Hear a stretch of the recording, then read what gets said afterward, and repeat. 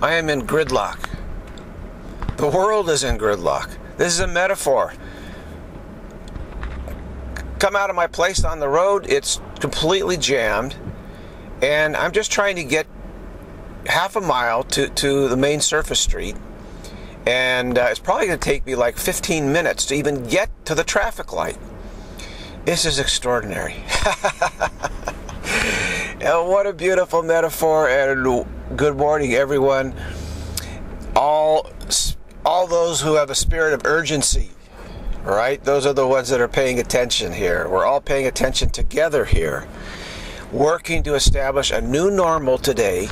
Every day, managing our success, full stop in the wow, new sense of normal. All right, new perspective, it's the sense of urgency and the dedication of work that works because we establish a new normal every day. So the perspective we had yesterday, as good as it was, today is going to be even better. Right? And the next day even better. And even better and better and better better. Like that. That's so it's the willingness to work at it with urgency and dedication and to establish a new normal. It's the stress of that, the strain, the workout. That's what's important.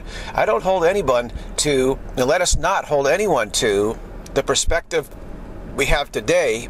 It's not set in stone. It's getting better. It's getting better. Right? Tomorrow will be even better. Interesting here. My, my eyes are open. Awareness is open. And uh, we're looking for a blessed day, which we certainly will get.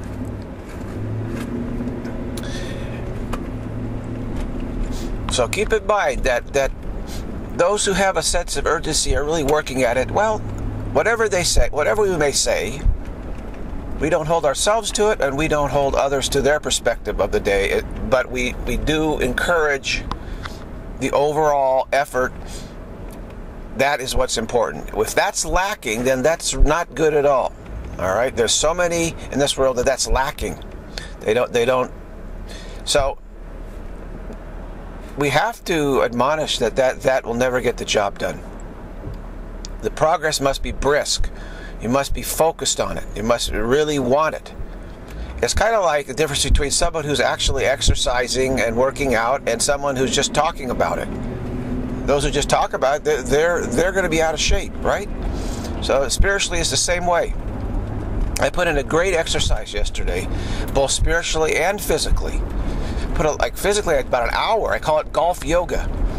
Really, it's just tremendous, and uh, I'm in pretty good shape. And afterwards, after doing the workout, I did drink a, a, a chocolate protein drink, and then later on some tart red cherry juice. And uh, I'm not sore this morning. I'm not sore. Golf yoga love it. the yoga girls are crushing, crushing, uh, crushing everyone. They're crushing the men, the, all the yoga girls, right? Because their flexibility, so they can say, look, they can say my my management style is flexible, very flexible. It's both overt and covert, and it's just crushing the men. They're getting ready to crush them. So we don't want to be completely. Uh, uh, ignorant of, of, of yoga. I do golf yoga. right? You don't want to be intimidated by the yoga girls. They can be they're very intimidating. They're, they're, working very hard to, uh, you know, to institute the, the, the matriarchal matrix of, of, hey, management style towards, um, towards futility is success. It's like saying going faster towards, towards futility will result in success. Our, the way we manage the path towards futility will bring success. And look at my flexibility. So you don't want to be intimidated by the yoga girl's flexibility. And it's just this is like a mania for the management ladies who uh, feel their job is to perpet keep you know keep this search for a really a futile search going because of continuity fear. We think, well, if we stop the search, it's an abyss. And so I keep I've been working on flexibility.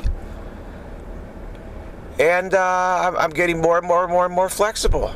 I could bend my back. I could do this. I could do that, and, and hold balance. Try try balancing uh, as we're hearing this gr- uh, more gridlock here, uh, this is a great way to get through the gridlock. Okay, taping like this, a great way to get through the gridlock. Try balancing and then close your eyes.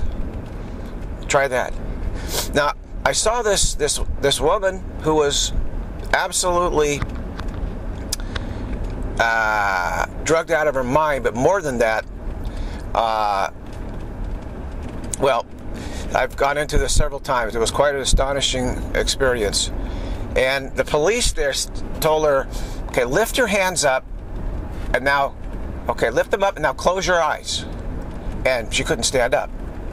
Couldn't stand up. Completely lost her balance. This is this is a woman that had no inner poise. Okay, had no poise. Had lost her poise, her inner poise. Trying to uh, cut herself off from spirit. Trying to cut herself off from spirit, and so try practicing, you know, balancing in a very, very delicate balance position and then close your eyes and then see how you do. And this will let you know if you have, if you've got, if you're developing poise or not. Some sort of poise, all right? I, so I tried that. I was able to do it. But certainly you have to concentrate. You really have to use your will and concentrate. Balance requires a certain amount of will. This is what I found. It, it's really very interesting to try balancing exercises like standing on one foot and then moving around on one foot or balancing on the edge of your feet or various things. Try it. And you will find as you start to lose balance there's a certain point where you have your will has to kick in kick in and say hey i will I, I will not fall. I will not fall It's kind of like suppressing a sneeze. You can do it if, if the will is strong enough. Say, I will not sneeze. And the sneeze will actually go away. It will just like implode. It, it, it's amazing. But it takes an effort of will. So being aware that we're capable of an effort of will is quite a revelation to us. Because we have very much uh, in a state of falling, falling from grace this is the whole purpose of, of this world, really, is to fall, fall from grace, to be distracted from grace.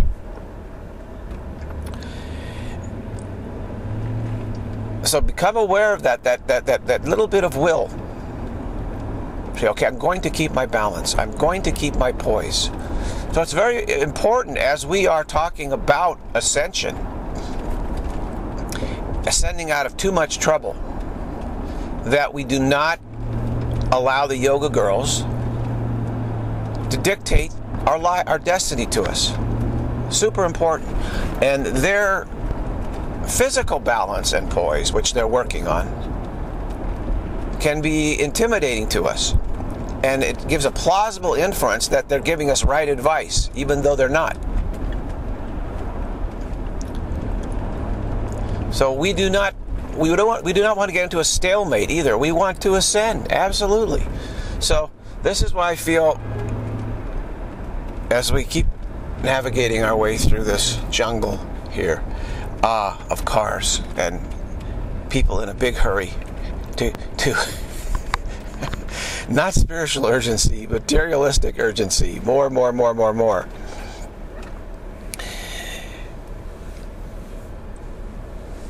There's a certain plausible inference at the physical level, which the yoga girls are working on, which the matriarchy is always working on, whether it be through dress, you know, through go out through history. They always have something that gives plausible inference that we need to follow, that following their advice is the right way to go, and it's never the right right way to go. It's never the right way to go. Wishy-washiness, trying to please both truth and lies, is really just a delaying tactic. That's all that it is. But if we allow this superficial plausible inference of, well, they have flexibility, so, you know, we'll go with that. if we allow that to get us, then, then we're doomed. We're absolutely doomed. So the Holy Spirit said, look, at some point said, okay, it's important that you not allow this intimidation to get to you at this point. So I had to start working out, getting flexible, at least enough, you know, where I, am not uh, it doesn't seem like embarrassed by it, you know? The yoga girls' flexibility is so great. They, you know, they do all these poses and hold them, and you say, "Wow, look at that poise." You know, it, it's superficial, of course, and the, of course the idea of uh, we can please both both the ego and, and the holy spirit equally is utter nonsense. There is no such flexibility that leads to that. So flexibility is not an end in itself. Being in shape is not an end in itself. But again, you don't want to get in a, in a defensive position of thinking, wow, you know, I, I maybe I'm wrong because I'm not flexible, right? and this is what the inference is. Maybe I'm wrong because I'm not beautiful. Maybe I'm wrong because I'm not this. The plausible inference of this world is so overwhelming. So there's this vast obsession now uh, yoga of yoga girls. I mean, it's just amazing. Everywhere you go, you look yoga this, yoga that. You look, it's all women. The clothes, all the clothing, the marketing, everything. And they've been working at this for a long time, and it's very superficial. And it's designed to say, again, don't worry, we'll be flexible uh, going into the future. Our management style will be flexible as we go on the path into a dead end path of futility. And that's supposed to be like charming. And it was supposed to be like a spell, like, oh, of course. That's what we needed. We needed flexibility. we need to have a flexible search for an absence of totality. That's it. That's it. Ah, so wait a minute. what? Wait a minute. Wait. So we're scratching our heads and saying something ain't quite right here. Yeah, but the plausible infer- inference intimidates us. Very intimidating. Keep in mind that the, the, the mind that is self deluded believes that, that ending the search is disaster. So it is absolutely fixated to, to preserving and maintaining this search where we're, we're searching for an absence uh, of, of what we are, absence of totality. And it's all pretense, and yet our creativity is so extraordinary that pretense gives rise to plausible inference to us. So we, we're psyching ourselves out. We really are. This world's like a psych out. really, we're psyching ourselves out. And again, the, the, the, the overwhelming effort here is to keep the search going. And the yoga girls are, that's what they're all about. Just don't worry, guys. We're, we've got it covered. We got the flexibility. We can, we'll, you know, as we go along this search, we'll, we'll, we'll, we're more flexible now. So that should make that should make the search, search successful, or at least you should be able to find. We'll find true contentment. Don't worry. We'll we'll be able to find true contentment in a fear-based you know, experiencing. and we keep falling for it over and over and over and over and over and over and falling for it again and again and again and again and again until we finally hear somebody speak up. And thank God for Jesus Christ, who truly has spoken up throughout history, as well as others uh, Jesus is very adamant. that the what we must do in order to not be fooled by this flexibility scam is to listen to adamant adamant voices. Very clear, very adamant. And I've spent in my entire life doing just that. Always I search for what is the most adamant voice, the clearest voice is just, you know, no wishy-washiness, no wiggle room. This is it. Who and who really can can can be consistent with that? Well, Jesus Christ is certainly that way. A Course in Miracles, he is is certainly that way. At least his words. So a lot of the interpretations that have come out uh, are less, way less adamant. You might say. Uh, you would expect that. I mean, those of us who are who have been struggling with this and, and, and working on it and absorbing it uh, certainly are less adamant than Jesus, way less adamant. but I, I, try every day to become more and more and more adamant. Now, Longchenpa is another voice that's very adamant. So is Ramana Maharshi, and so is Sri Sri Anandamayi Ma. All those are extraordinarily adamant voices. I mean, you just listen to Sri Sri Ma. Her real words, holy cow. It's almost too much, really. I mean, you talk about strictness. You talk about no wiggle room. It, you know, it, it's intimidating in, in, in a certain ways. Which may look very, very sweet and beautiful on the outside, but very strict on the inside in terms of uh, absolutely adamant that you know this is what you must do. This is your purpose in life. There is no other purpose. If you don't do it, you are wasting your life. Period and you know just on and on and on and on and on. Extremely adamant. And it may be that that she's so adamant that the only way this adamancy could come into the world was was in a female form like that because the men may have taken issue with it you know to be criticized so severely or to be to be put under such pressure you know, maybe we, so I don't know. That's a possibility. But really, uh, spoke truth even to all the, the the male you know aspirants in India. That was even stronger than their own teachers. It says, you know, basically say, look, you guys are not going fast enough. You got to go faster. You don't have the, enough sense of urgency. You got you got you got to do better. Listen to your teachers more. That's what he said. Listen to your teachers more. Put in better effort. Have more faith. Go go go go go. Because you're about to be, you know, clobbered by the yoga girls, among others. The tech titans, the stragglers. You know, a combination of the yoga girls and the and the tech stragglers. You're going to be clobbered by that. So you had better have this great discipline of, of every day establishing a new normal. You better have that. Because that's the only thing that is going to get you through it.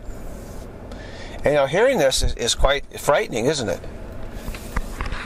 But good thing good thing she said it, you know. Absolutely. Now if we want someone on mute, then we're on mute. If you want someone off mute, they're off mute. You can't have someone who's both on and off mute. And the yoga girls will say, "Oh yeah, but you're flexible." You know, no. What it means is f- f- muted but flexible in what? See, this is the question. This is where it falls apart. Again, flexibility on the path towards futility. It, you don't. You're not going to meet up with success. So this flexibility yoga yoga girl thing is is superficial.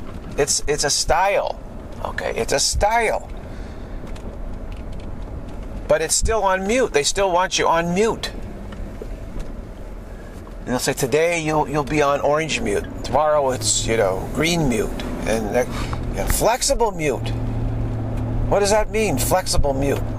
If you're if you're on mute, you're still on mute.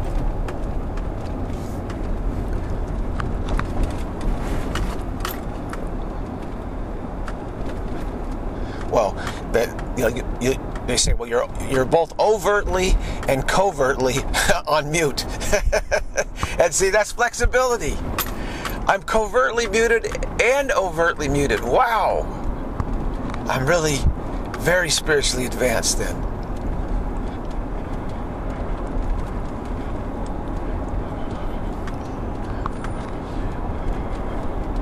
And we have to bring this humor into this, right? Because it's really so diabolical. There's a reason why the snake is used for the symbol of, of Satan, you know, the forked tongue, the, the, the duality. It, look, oh, there's, there's, flexibility. There's there's the two pieces of the tongue, but it's actually one one tongue, one base to the tongue. It's, a, it's just one tongue with a, with a forked tip to it. So it's a very interesting symbol of, of self delusion, isn't it? So we'll be both overtly and covertly muted. And we think we're exercising you know, we're, we're flexible, that we're really managing our, our muteness properly. It's just a matter we have to manage it better, right? Manage the muteness better. manage the insanity better. Manage the, the misdirection better. And then it will be successful. This is what the world is marketing. This is what the ego is marketing.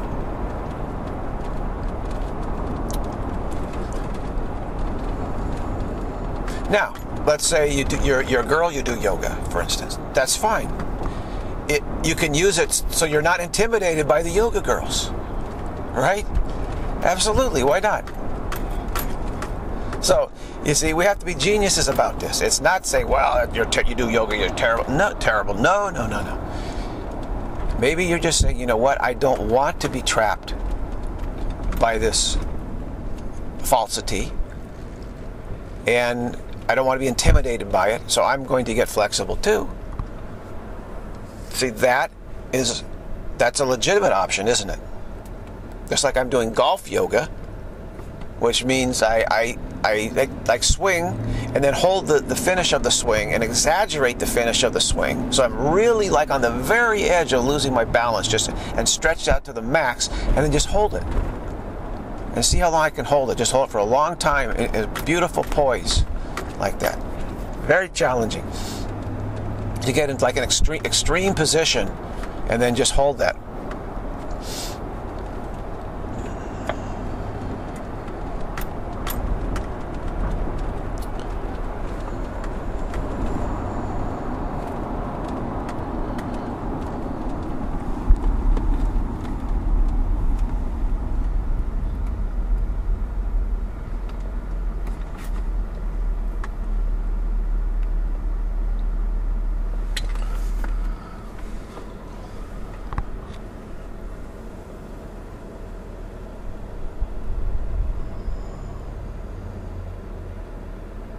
golf yoga. It's helpful. It's really helpful. I, I, I felt athletic. I feel athletic now, which is pretty. I feel more athletic now than I did at half this age.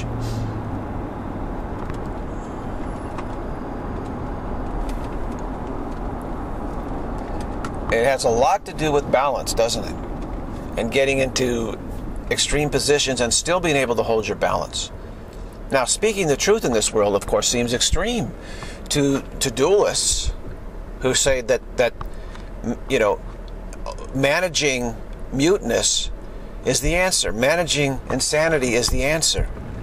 That it's the management style of how we manage our insanity that that's that'll bring us happiness. That's that's the delusion. Okay, so we're really outing this delusion here more and more clearly. And I'm sure it's shocking. It's shocking to everybody to hear this. Oh no, really? oh my gosh, the abyss. Oh no, there's no abyss. There's a reduced intensity zone. Okay, a reduced intensity zone, Arizonaville, a reduced intensity zone.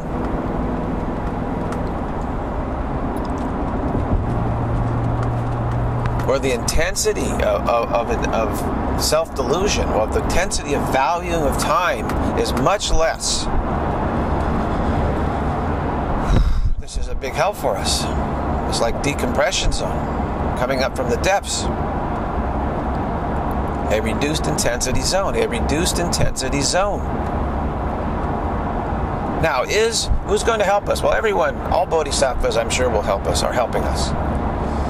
An example again, uh, Sri Sri Anandamayi Ma, when she was in Dhaka, and all her, all those who were paying attention to her We're, we're in Dhaka, we're in when East Bengal at that point, and then Bangladesh. Um, at the time of the partitioning, she helped. She she ahead of time. She helped all the devotees that wanted to get out. Well, actually, when the Bangladesh independence movement started, which was in 1970 that's when all the massacres happened. Before all that happened, she got everybody out of that area without any uh, declarations about it. Just bit by bit by bit, by artfully, got everyone just lo- relocated somewhere. anyone who wanted to go. Now, there were those who refused to go, the Kali worshippers. They had a Kali temple there in Ramna Park in Dhaka. And they said, no, this is, we're dedicated to the goddess Kali. And, we th- and they thought she was the goddess Kali, which she wasn't really. it was just the, the, the pure saturation, you know, of the now, just nowness. Alpha pure guru vision is what Anandamayi Ma was. Alpha pure guru vision was uh, was all that there was. That was what she was not a woman. She was not a body. She was not anything. It was just alpha pure guru vision appearing in the world. Well, they refused to go. I said, we are going to, no matter what happens, we are here to, to, to serve and worship our goddess. Well, they were massacred. They were all massacred. So you can't you can lead a horse to water, you can't make a horse drink. But she did get everybody out. She was like a master of relocation. A master of relocation. A fabulous job of relocating all those out of to safe harbor. So here we have an example of a great bodhisattva. Alpha Pure Guru Vision at work in the world who demonstrated the Alpha Pure Guru Vision is capable, more than capable, of relocating devotees to a safe harbor in a timely manner, in an effective manner.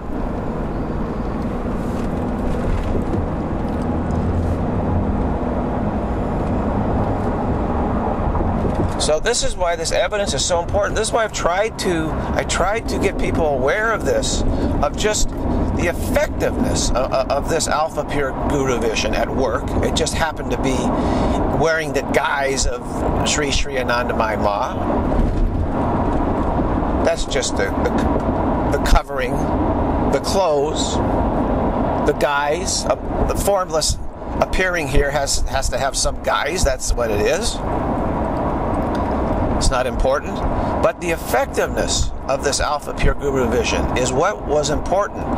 The evidence of the extraordinary effectiveness of this. This is what I was trying to convey to everybody. Not the appearance of the person, but the effectiveness of the Alpha Pure Guru Vision. And it just people just don't get it. They have not. They just didn't. You know, it, did, it didn't click. Click. In our culture that's so obsessed with superficiality and the person, the personality, and all this, it just didn't click. And yet the effectiveness remains. So we should have hope and courage and belief that we too can be relocated out of harm's way there is a massive troubles coming for this world.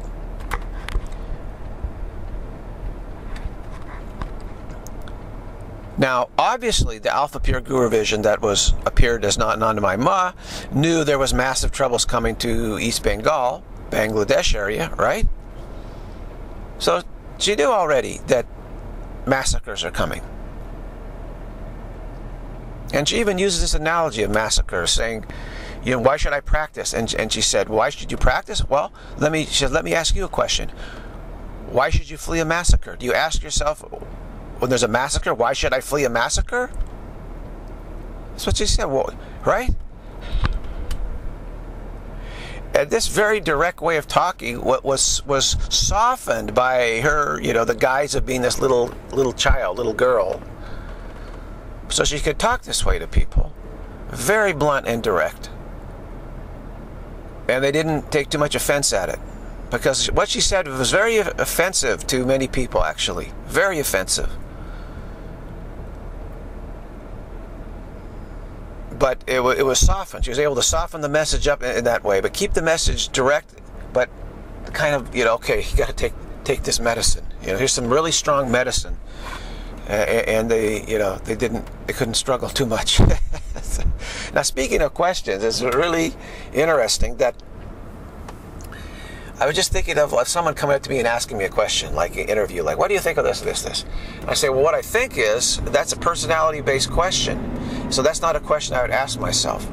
I would ask myself, what do I really want for everybody? That's what I would ask myself. So if somebody's doing a, you know, something like man on the street, come and interview, say, how, how do you feel about this social issue, this or that? I'd say, well, that's not a question that I would ask myself because it's not it's a person it leads me into personality conflicts eh, which the, per, the person it infers that the personality has a mind. Personality does not have a mind. It's a, it's it's it's spiritual pretense. So I would ask myself the question uh, what do I really want for everybody? And what I want for everybody may all beings without exception abide in alpha pure guru vision. Forever. Okay? So that's that's the question I would ask, and that's the answer I would give. So this is really fabulous, uh, unmuting to see it this way, because I, when you're on mute, you're so intimidated by the media. Okay, the media becomes very intimidating, and you think you have, just like teachers become very intimidating, and you feel you have to answer their questions but their questions are actually aimed at the personality. So you're really having to infer that the personality has a mind, which is that is self-delusion. It's the, the essence of self-delusion, believing that there's this other mind, or that we're we're able to build another mind. Say we're, you know, the teachers say we're we're, we're constructing, we're building a, you know, a better mind, or, or we're building a, a strong mind. I talk about the personality. You don't ever hear a teacher say, what I, what I want for everyone without all beings without exception is Alpha Pure Guru Vision. Right now.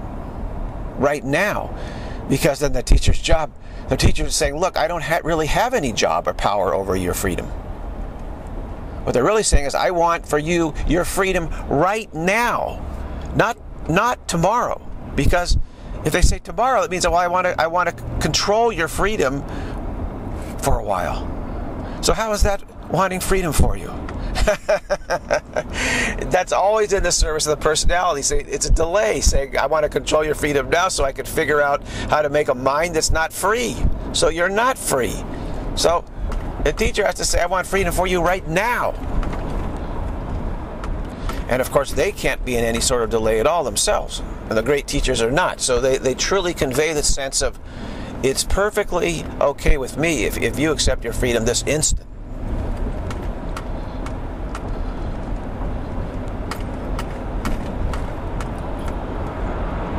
So, what we are finding out as we come off of mute,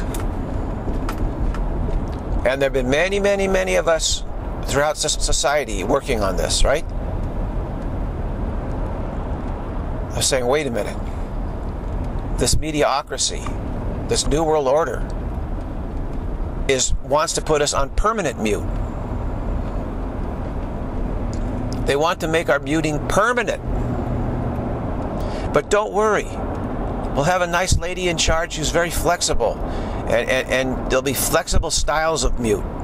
You know, today you're green mute, tomorrow you're red mute. And we'll dress up the mute in nice clothes. You'll be a dog with nice clothing, and you'll even have change of clothing. So don't worry, doggy. I have I have a variety of wardrobe for you. Today the, there's one type of leash. Tomorrow is a different style of leash. Nice. Maybe you'll have a a Gucci leash. right? Designer leash. Don't worry, doggy. I'll, I'll use a designer leash for you. I'm, I'm very flexible about what type of leash I use on you. So that's the mediocrity, the New World Order. We're very flexible about, about what kind of leash we use on you. And we'll even call muting different words. And that'll make you happy. You'll be happy with that.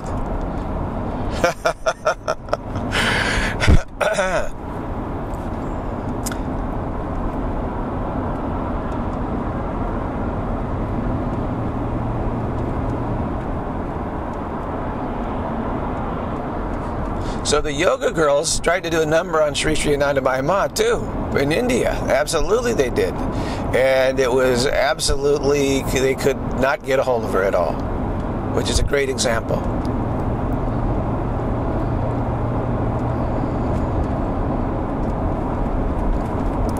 The thing is, though, it was a great advantage being a woman because she could make all these excuses that, that women are allowed to make. so she could play dumb, you know, and do all this stuff. And men, men can't get away with that. Cannot get away with it. So it, it, that, that style doesn't really work for us. It doesn't work for men. And might, maybe it work, might work for some, for some women. It's possible. but uh, she could cry and cry and cry and you know be so emotional like this. I gotta go. You know, I'm sorry. I can't. And she said, I can't do anything about it. God is telling me I must go, and so I must obey Him. And, you know, and other women say, Oh, yeah, well, we understand. Yeah. They, they, they couldn't they, they couldn't dominate her. They tried. They tried. They tried through their surrogate male thugs type, you know, demanding you must do this, you must do this. Oh, I'm, I'm, I'm so sorry. I'm, I'm, I'm retarded. You know, she said, I'm, I'm, I have some sort of retardation, you know, mental problem, and I'm, I'm unable to uh, comply. I'm unable to go along with what you're saying. I'm, you know, I'm so sorry. And then she started crying, you know, and they say, oh, no, don't cry, don't cry, don't cry. I'm, don't cry, I'm sorry. I don't want to see you cry, you know. but we cannot get away with that stuff, and it doesn't work for us. So, that's why I say it's too much trouble here. I, it was enough trouble for her to deal with this world. Believe me. I mean, it, she had to be a genius to deal with it, and she was a total spiritual genius, but she had to use every kind of artfulness to remain disentangled from it. And it's now a million times worse, okay? So, in no way should we feel that we're supposed to be able to deal with this too much trouble world right now. The too much troubleness, too much troubleness. And in no way should we feel that somehow there, there's, there's something wrong with us because we can't. We have we have this severe continuity fear. That's what's that's our situ that's our problem. It's not there's something inherently wrong with us. We have a severe continuity fear. So we're operating like on about 1% of our spiritual capacity. Now she was operating on 100%. And even 100% it was it was a challenge here. She said she was never inconvenienced at all, which I, I believe. But she was uh, never anything other than 100% aware under all never identified with the body for even one instant. Okay, she never identified with the body for even one instant. And that's what it takes to handle this too much trouble. So just ask ourselves, are, is that what we have right now? Are we able to do that? No, we've all we've already identified with the body our whole lives. She never was ever identified with it. From before birth, during birth, after birth, during her life, whatever, death, after that, all the same. She says, my consciousness has never, never changed in the slightest bit. Okay. And even that was met with a massive, you know, effort to divert and trick, etc., etc., etc., and required just a full-on effort on her part, non-stop full-on effort. So we can hardly. I'm sure that the bodhisattvas are not expecting us the great saviors and sages are not expecting us to be able to be able to function like that because we we'd be above them almost you know really. I mean we right now but the whole purpose of god's plan is to is to get us ultimately to that pure ultimate liberation. So we have to take the steps necessary step by step by step reduced intensity reduced intensity reduce, accept the reduced intensity. Like she, Ananda Ma said, get out of Bangladesh before the Pakistan, you know, Pakistanis crack down on the independence movement. She didn't say, hey, you're my devotees, you should be able to handle it. I'm great, you should be as great as me. Is that what she said?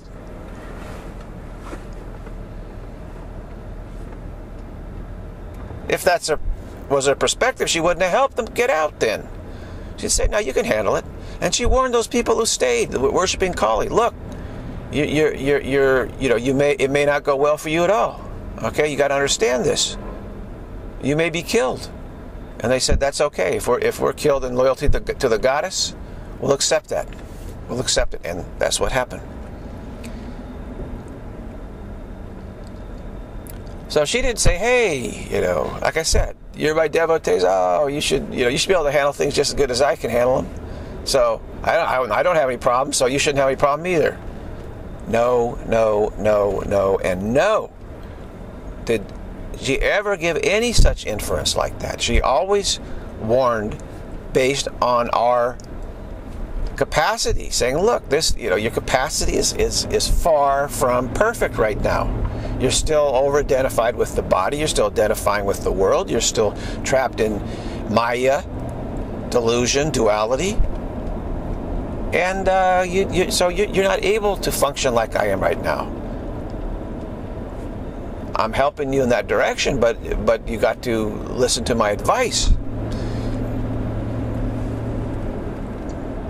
So, with that wisdom of the bodhi, of a perfect bodhisattva, which she was a perfect bodhisattva, with alpha pure guru vision, her entire life, never diminished, advising us, look, you need to take safe harbor when the trouble gets too much. Aware that the trouble does get too much in this world.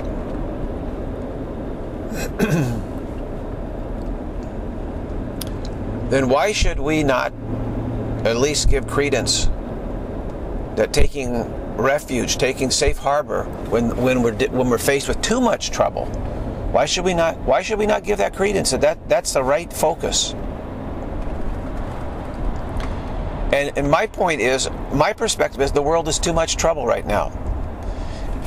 It's been invaded by a very virulent type of delay, which we call technology, which is designed to streamline the, the, the search, streamline futility, like making, which makes us feel like, hey, we're going faster so that must mean success. Well, again, if we're going faster towards a dead end, how does that not make it a dead end? It's just that we're getting there faster. And so we've confused efficiency and speed and streamlining with success.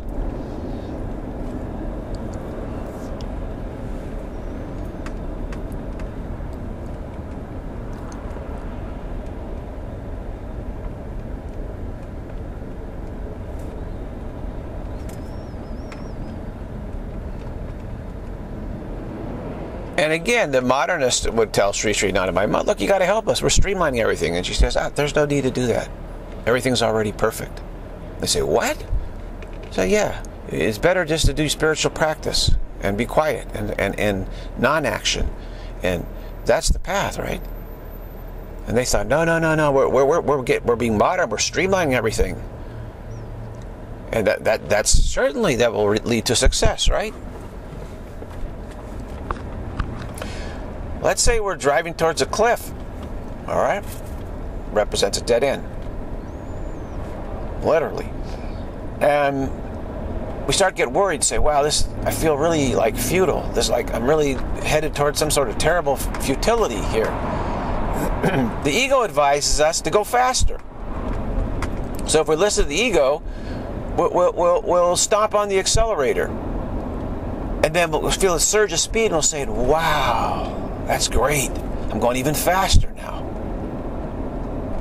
And for a moment, we might think, hey, this is the false wow of the ego. We think, I'm succeeding. I'm, I'm succeeding because I'm going faster.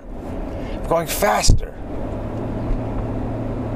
Of course, we're, we're only going faster towards the cliff. It's like someone then going off the cliff and they're falling and they say, Whoa, oh, oh my gosh, I'm falling. This is horrible. And then they think, hey, let me, if I fall faster, that's progress, that's success. Maybe they'll feel, oh, I'm very successful, I'm falling faster. Falling towards the concrete faster. So th- this is, of course, delusional thinking based on fears, fear based logic. And they say, well, let's just put the logic in machine logic. And so won't be so frightened. So it won't change his mind because we're going faster towards the cliff and we start feeling nervous, more nervous to say, wow, I don't know what's the matter. So let me let me make this car drive itself automatically. So I can't take my foot off the accelerator and put it on the brake. I gotta make sure I gotta I got to make sure my success is not compromised here. So let's turn it all over to machine logic.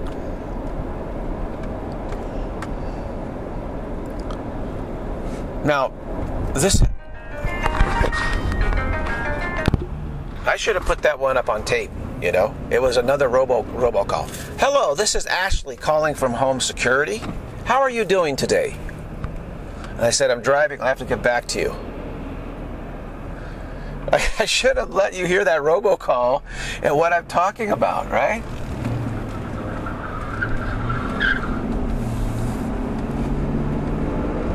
Wow.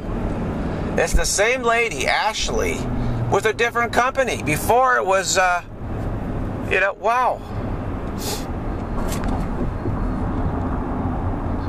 I have no idea how they got my number either. Ash lie. An ashed lie. A lie that leads to ashes.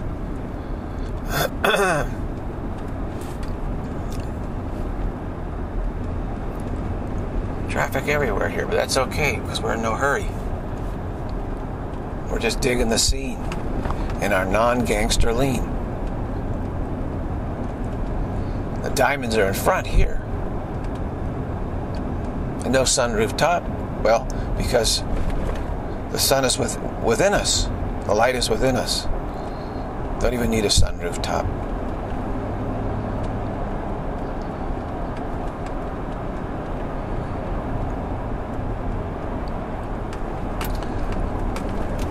So we were momentarily diverted there by a, robocall. So we're talking about machine logic, all right?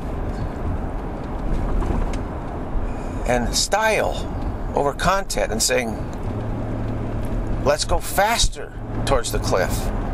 And then we won't feel this fear. This is called doubling down on fear, doubling down on insanity. This is the strategy of the ego. Always is the strategy of the ego ego calls this flexibility. You can either go fast towards the cliff or faster. And we're very flexible about that. Gee, thanks, Mom. That's great. That's just, I'm so fortunate to have such good advice. I can either go faster, faster, or really fast. I mean, we're super flexible here. It's a flexorama that we're involved in. Flex Dini, we're the Flex Dini people. Flex Dini people.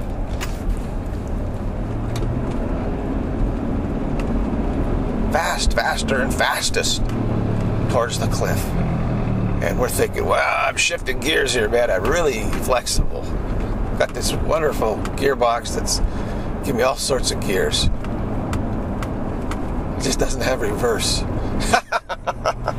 we better find reverse right? We got reverse in the gear uh, in the Holy Spirit's in the Holy Spirit's gearbox. We have reverse.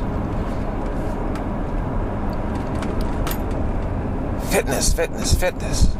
these fitness places. Hey, I'll tell you, the gym is not the place to get fit, really. I mean, the guys, you listen to guys, and they're all like,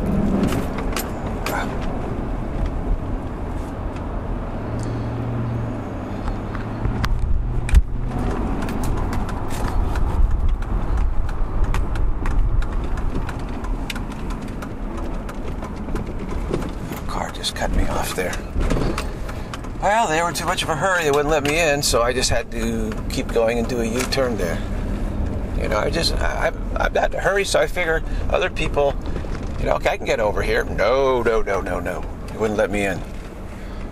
I just assumed that he would, and he, and, and he wouldn't. so I had to get out of his way. And, you know, and it stressed him out by, by me starting to get over because I said, oh, he's to let me over. No. See, that, it adds stress. Everyone's in a hurry. I mean, you could get there maybe within a couple minutes if you're not in such a great hurry. It's, it's not going to delay you that much in terms of that.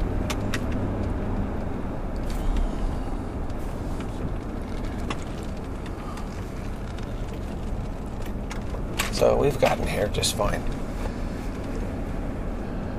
The Holy Spirit has reverse. The, the gym, okay, the gym. Just pumping weights like that and rah, you know that is not really good fitness. It, the the best fitness is to do movement within the kind of you know everyday situations and exaggerate the movement and hold and work on balance and poise and that kind of stuff. So, as usual, the women are half a step smarter than the men. As usual, because they're they're doing yoga, whereas the men, most of well, not all of them, the ones that go to the gym, they're like, oh my gosh, they you know, they look like men. Uh, the kind of like you know, you see the bodybuilders with all their weight, strongness, but you get some person who's genuinely fit, and, and the gym people don't have don't have a prayer, don't have a prayer. It's like the difference between like jogging along a flat path and doing cross country running. See, cross country running stresses your balance constantly. Stresses your balance constantly. And your ankles are, are turning and twisting. Your whole body's being torqued by all the uneven terrain. So running on uneven terrain is way, way better workout than just jogging straight. So like having weights, but then moving with the weights like I, what I do is like I swing a golf club and I have weights, weights in my hand, heavy weight, and, and so that it makes it way more difficult than to keep my balance. It's that sort of thing that that leads to real fitness.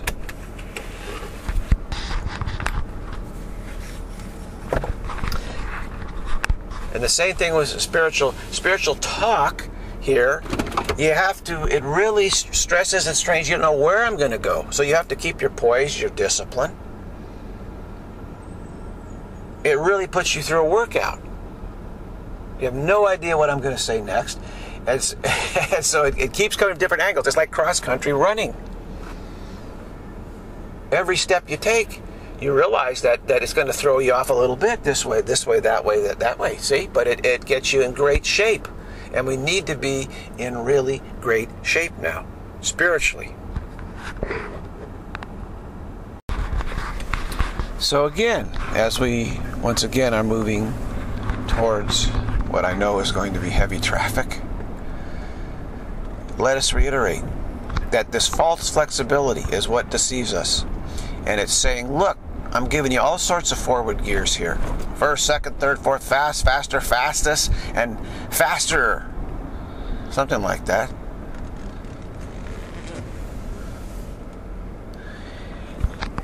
But they don't give us reverse. In other words, you can't walk back. You're just, your whimsicality it's just all forward, forward, forward. You can't you can't reverse out of it. And they say, wait a minute, you know, you got given you all these forward gears. What are you what are you complaining about? I said, well, we're complaining about because what we need is reverse. So it's not it's a false option. It's the idea. So say so we're being bamboozled by this. We've been bamboozled by it. All of us, myself included. I mean, you know there's something wrong, but we can't articulate it because this culture, the world, is is you know it's it's just trying to bury us. It's trying to it puts us on mute. It puts almost everyone on mute. And if you speak up, you're isolated, right? You know, like what's wrong with them? What do you mean? You know, we're we got we're working fine. Everything's working great for us. Fast, faster, faster, and super fast. We're all fastinis. You know. So very you don't we don't hear enough adamant talk. And that buries us. It buries us. That's why I say spiritual culture, real spiritual culture, is so important. But it has these bodhisattvas, which is really alpha clear guru vision this alpha clear guru vision is in appears in these cultures and and and keeps everybody awake to, to the option of reverse. We need to reverse our decision of whimsicality. We need to say, you know what, I'm going to go on a path to setting whimsicality down and, and walk it back. Reverse back from the edge of the cliff. But what we're doing in our society now, which is so detrimental, the stragglers come along and say, look, we understand your problem very well. Your fear is that you may back off the accelerator. Remember, the ego tells us the way to get rid of fear is to have more fear. Go faster towards futility. And we misinterpret that. When it doesn't work, we say, well, I, I, I, felt like I wanted to back off, and that was what was wrong. I wanted to like go in reverse, and oh, that's what's wrong. So these stragglers come along, their technology say, don't worry, we'll automate it all. We'll put it all in artificial intelligence, and we'll take away any option of, of backing off the pedal, take away any option reverse, and that'll cure your how you feel. It'll cure it, you see? No, that's that's just the ego on steroids. That's why we call them stragglers.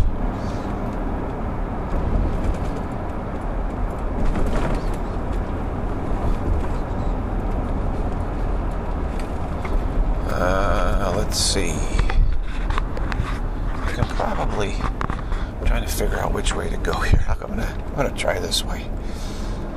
There's a burn smell here. Where's that coming from? All my gauges are good. Hmm. Probably come from outside somewhere. There's a fire here, but it's a fire of adamant speech. Hopefully the the engine's okay here in the car. so what we're doing is we're outing the stragglers here, okay, and their yoga girl uh, matrix control system that they're using.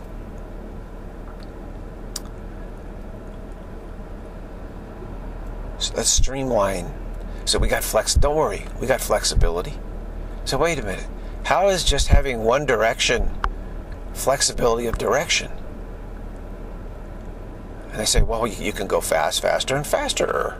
so that's not flexibility. It's the same direction. And so this is the whole thing, right? the more we wake up to it, the easier it seems. They say, wait a minute, this is just a ridiculous scam, a con.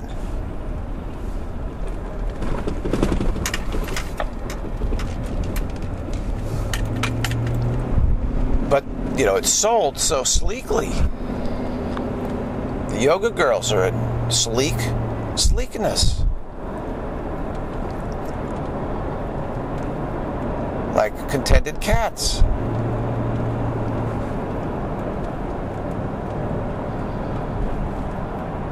And they're saying, "Look, look how contented I am. You can this you can find you can find contentment within a within the context of fear.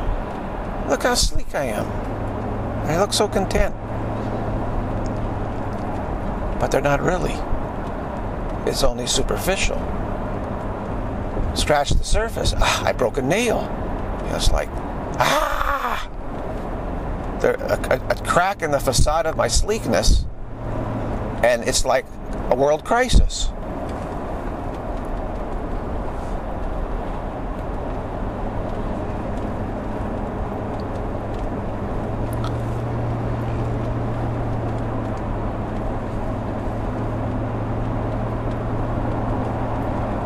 Because again, we think that backing off is, is the disaster that leads to an abyss. We're worshiping an abyss, and we think that backing off the worshiping of an abyss is the abyss. We think that totality is an abyss, but that's only because we believe that there's this imaginary mind that's our identity. And that we, by not having an imaginary identity, we won't have any identity at all which is, of course, absurd. And that bears repeating. But what we're doing here is we're outing the central trap now that I, I'm seeing so central is the flexibility trap.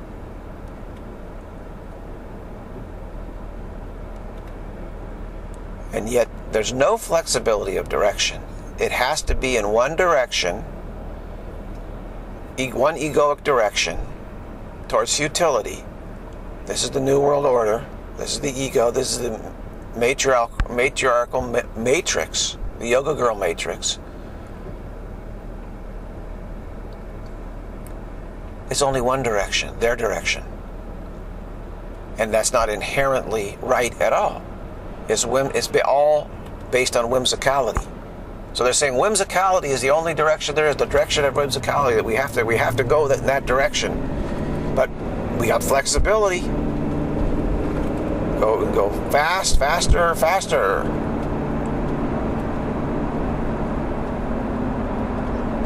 And they say that how can you argue with that? You, you argue with that, you're you're you're hostile you're super hostile. You're you're you know sexist or whatever. You know they use all these terms to say you're you're you're terrible. basically, you're hideous. You're hideous. You, see through our facade. That's horrible. You're trying to throw us into an abyss. And Yet all the while they are worshiping an abyss, the abyss of whimsicality, and claiming that if you just worship it more, everything will be fine. So again, more, more, and more. They said, I'm giving you all these options. I'm super flexible. I'm super reasonable. They conflating flexibility like this with reason. Reason is adamant. It, it says, look, there's no wiggle room.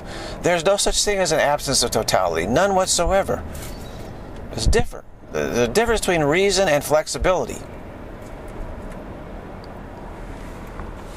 So the yoga girls claim that, that you're hideous because you're not fall, you're not worshiping their flexibility. Say, come on, everybody, let's worship the abyss. Let's worship fear, but let's just do more and more and more and more. And look at all the flexibility you have. Look at all the options you have. How can you not love all those options? And of course, this is mentation based on fear. It's logic based on fear. It's fear based logic. And then they say, you know, wow, you, you, guys are resistant to this. I mean, this is this is a flaw. If you just worship more and don't back off, you'll be happy. So let's let's turn it all over to machine logic to make sure we're all controlled so that we all worship whimsicality more. How could anyone complain about that? Come on. Come on, guys. Get with the program. You can be content. You'll be content, don't worry. You'll be content until I break a nail, until I see some wrinkles, and you'll be content. And of course, this is, you know, the, been fooled over and over and over and over ad nauseum. Same old scam. Same scam. Exact same scam is always being used. The good news is, you know, seeing, seeing it and realizing it's just the same one scam is used over and over, we realize, ah, oh, it's easy to get free of it then. It's not a whole bunch of different scams. It's all just the same scam.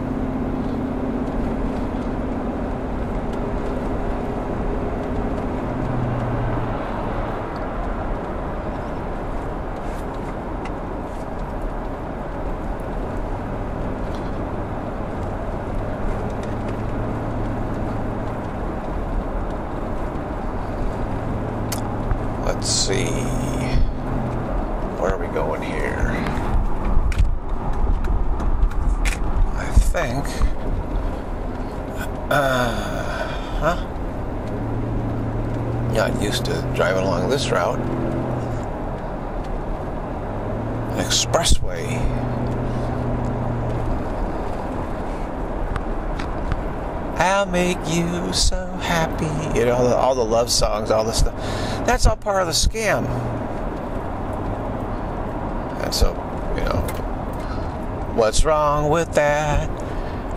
I'd like to know. So here we go again.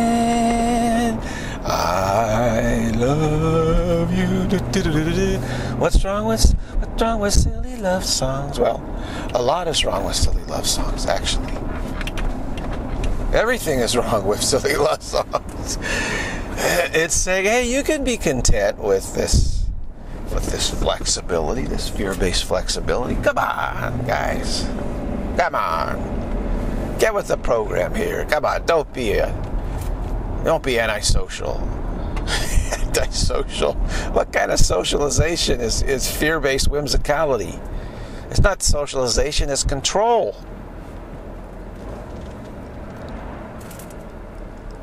Not socialization. We don't have a society. We don't have a culture. We have control. We have a scam.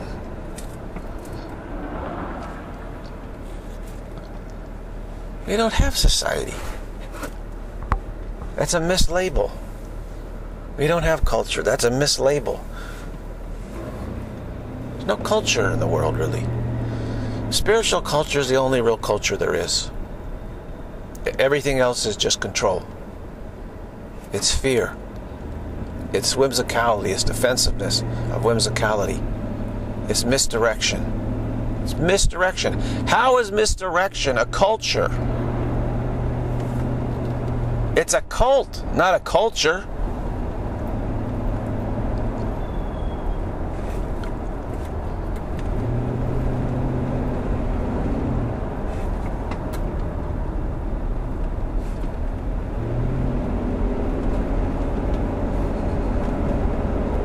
Don't have a, a, a, culture here in the world. We have cults. We have just a cult, fear based cult here. The cult of misdirection.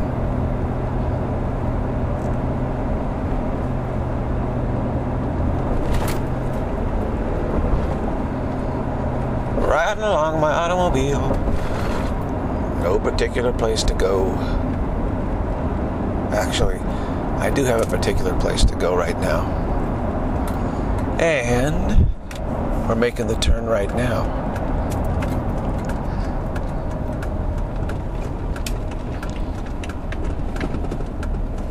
And, and the dream I had, I, I was able to reverse out of the situation I was in. I was able to put the tanker truck in reverse, carrying a lot of water. I said, "Oh, wait, I don't want to go this direction. This is wrong direction. Wow, this is, this is going to take me in the wrong direction." Put it in reverse, reversed out of it. It's very interesting. Again, I had that situation where this car stalled, and it was a right turn, and there were cars on the left that were going straight, and, and we were blocked. We couldn't do anything. And just lady was gesturing and talking and making you know all this drama, and uh, my attention was on her and, and, and other driver too. We were thinking, what's she saying? What's she saying? And, and and suddenly I said, wait a minute. You know, what I need to do is get around around her here and I, compl- I had completely forgotten. How about reverse? Never think about that. I said, I got to go forward. I got to go forward. I got to go forward. And it's blocked. I can't go forward. It's blocked. And I'm getting upset. She's upset. Everyone's. I said, I looked in the rearview mirror, the side mirrors. There's no cars behind me at all. Nothing. I say, wait a minute. Let me put it in reverse. I have reverse here in this vehicle, actually. Let me put it in reverse. And I backed up and I got around, and then the car in front of me saw me doing that. and said, "Aha, aha! I've got reverse too." It's like a chain reaction. You, you see what one person, one of us going in reverse, we're reversing out of it, and we say, "Hey, I can do that too." And I'm noticing that, like I'm doing stuff, or other people do something. I say, "Hey, I see, I, I could do that too." And this is the real revolution here the reverse revolution.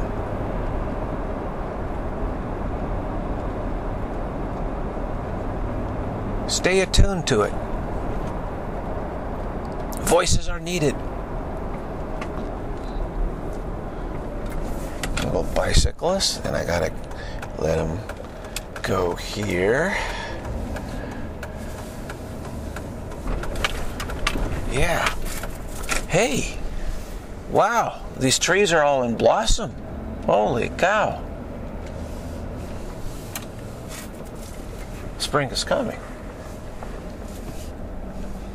And the days are passing. And we need to shift into reverse now. As I wait here uh, a little moment, further on down the road, did did some stretching, did some flexibility exercises, and uh, what's more important though is is is also stretching and exercising our mental recognition and clarity. About how do we get how do we get so bamboozled? And how come we remain so bamboozled? How come right? Yeah.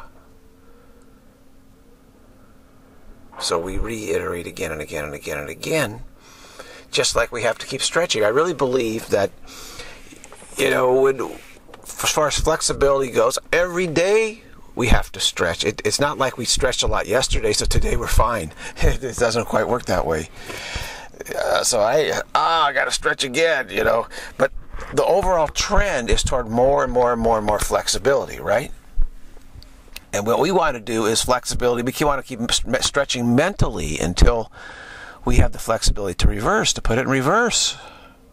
Reverse our way out of here. Essentially, it's just kind of a walking back, reversing, okay, out of the intensity of turmoil, the intensity of, of pursuing futility, of searching for, for futility, that, that becomes very intense with massive turmoil, and then blaming the futility on some event like a catastrophe,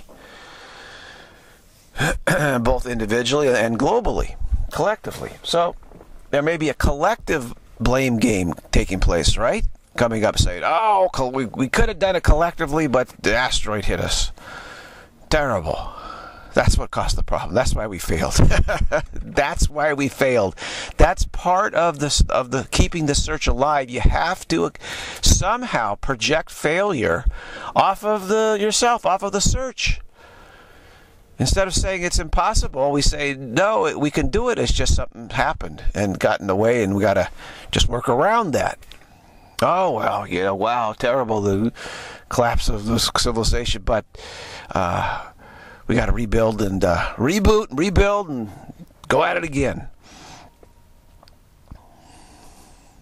Be the good soldiers. Mother knows best. You know, just keep keep keep at it. Keep at it. You first you don't succeed, try try again. I've already, but we've already done that. We've already done it. Been there, done that. And at some point, we say, I wonder if there's some other explanation for all of this. And indeed, there is. And you begin to be clued into a different explanation. Like, wow. So that's what's really going on here. Wow. Wow. Wow, wow, love it. And I'd love for the, the clarity to be even greater and greater advocacy for it. Synchronicity. Just met a man and I was just chatting. I told him about you know, I've been trying to work through this frozen shoulder problem, and and he, and he said well, I had the same thing, and he, he, he talked about what happened to him, and it was exactly the same thing we, we went through. Totally, it's amazing. I said, well, when did you have this? And he told me, well, it was this fall. I said, well, that's when I had it too. How old are you? Well, we're virtually the same age, within months of each other, and we're saying like, whoa that's really quite extraordinary. And I said, Did you know how it happened? He said, No. I said, I didn't, I didn't either. I don't either know how it happened exactly.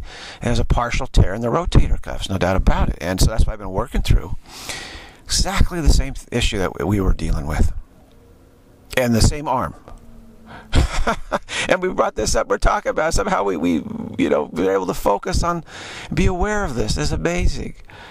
Okay, looks like there's something going on here. Let me let me check see what he's doing here. Okay. All right, just had a conversation with two more people. It's just like everyone I meet seems to want to converse a little bit quickly as we're working. As we're working, okay.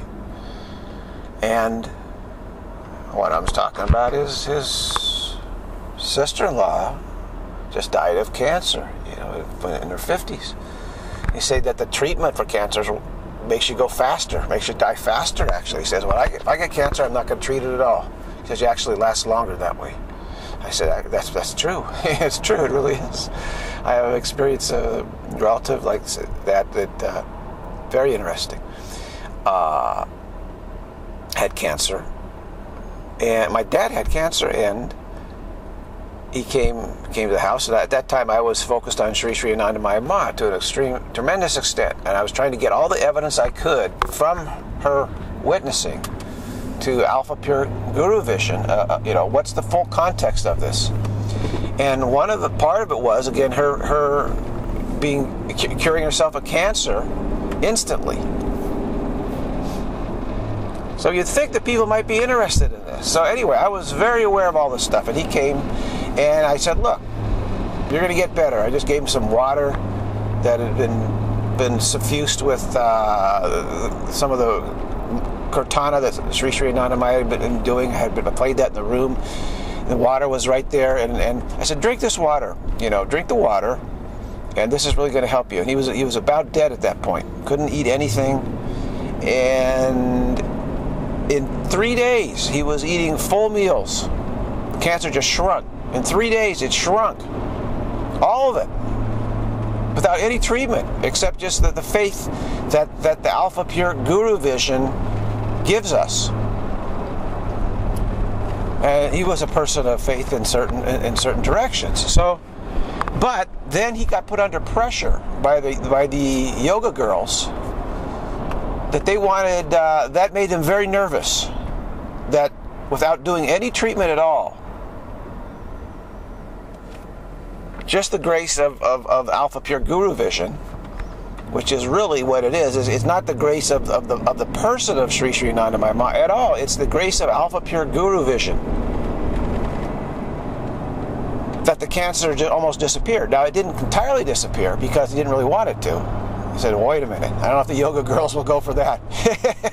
so uh, the, the, the, yoga girls had him traipsing around the world having all these treatments, and then they came back worse than ever it killed him. It's a fact. This is a fact. Okay. Don't put your faith in the yoga girls. Play, put your faith in Alpha Pure Guru Vision. All right. This is a this is a nice way to just relate to it, isn't it? Now, how am I going to get? Yeah. Right. Okay. Well, it is what it is here, as far as driving goes. Six of one, half a dozen of another in a certain way. Ah. Uh, yeah. Oh, but I get to go past Apple this way. Oh, the, the headquarters. Boycott Apple Computer. Okay, boycott them. Boycott them. They deserve it. Boycott them. Masters of delay. Masters of delay. They're, but they're speeding up the search. Come on. Doesn't that help us succeed if we speed up the search? Actually, it makes things worse. So, hey, we're going to drive right past their the epicenter here, their new epicenter. And someone just told me they're building another big, huge epicenter. Not not the same as this, but another big, big campus. Oh, yeah. Boycott Apple. I've been boycotting Apple for a long time. Long time.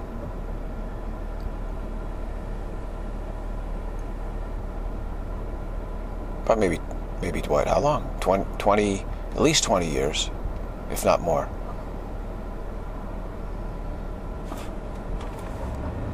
Before all the i, i stuff came out, the MP3 players, before all of that, before all of that, absolutely.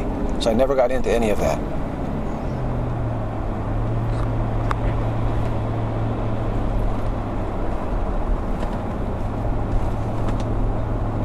Masters of delay.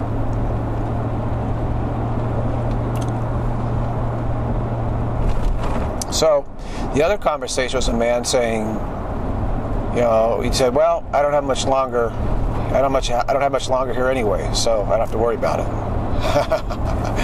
yeah, eh, eh, very interesting.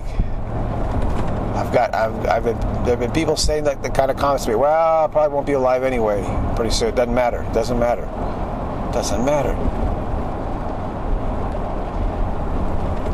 When the other guy talking about, he's talking about, uh, I don't want to die yet. I'm not ready yet. I don't want to die yet. I'm not ready yet. And I sort of tried to help him out. I said, yeah. I said, I do the same thing. I said, yeah, maybe later, not now. Maybe the next life I'll die. maybe the next life I'll die. That's my, that's, you know, use that. See, all the stuff I say, use it. If you don't use it, you probably lose it. Another problem, uh, I talked to someone, they were talking about how, we are talking about memory and how it's not a natural function we have so much. It's something we have to exercise. And he was right, you know, because we grew up, it was all about memory. We had to memorize, memorize, memorize, use our minds right now. You got to know. So, memory is like real quick, isn't it? You don't have to search online, do this. No, I know it right now. It's way quicker, way faster. And nobody has memory anymore, the younger people, because everything's on their phone. They don't even know what their number is, their phone number. I know people who know thou- have memorized thousands of phone numbers. They just can actually can memorize any number you give to them. And you ask them what it is, boom, have it right there. Don't have to worry about, oh, I need to charge my phone or it's not working right. What happened? The signal's not there, you know.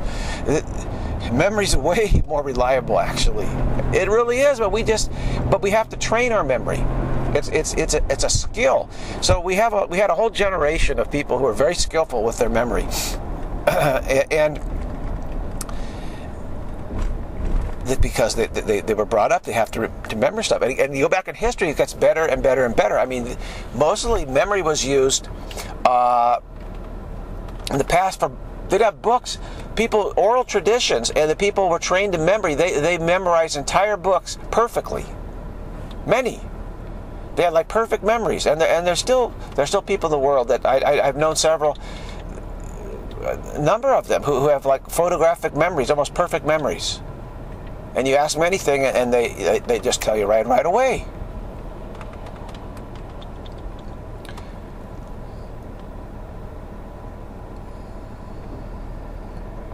And so we thought growing up, we think, oh, that's just a natural ability because so many people had it. We thought, well, well that's just just natural. We don't have to do, to work at it. It's just automatic, right? No, it's not. It's it's actually like you have to exercise it and work at it. And so when we stop exercising and working on our memories, which we've all done, guess what? We can't remember anything hardly. And it's not dementia or anything. Mean, you ask young people it's all on their phones. I don't know. We'll, check it out. How do you get there? I, I, don't know. I'll just put the. You know, someone told me, a friend can't go, get anywhere without a GPS. They have no clue about any direction or anywhere, anything without a GPS. Have to have a GPS. Then I talk about like direction. Well, I mean, can't you see the mountains over there? And, and that's north, south, that's east, that's west.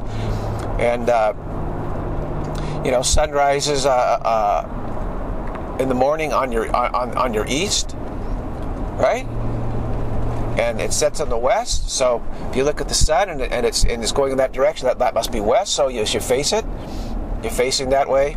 You can orient yourself north and south, like that. So, but they they cannot orient themselves at all.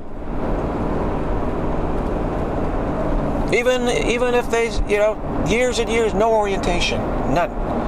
It's just it's got to be done with the uh, GPS.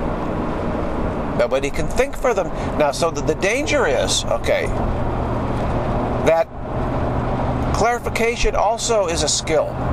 Now, there's alpha pure guru vision, which is natural to us. But as far as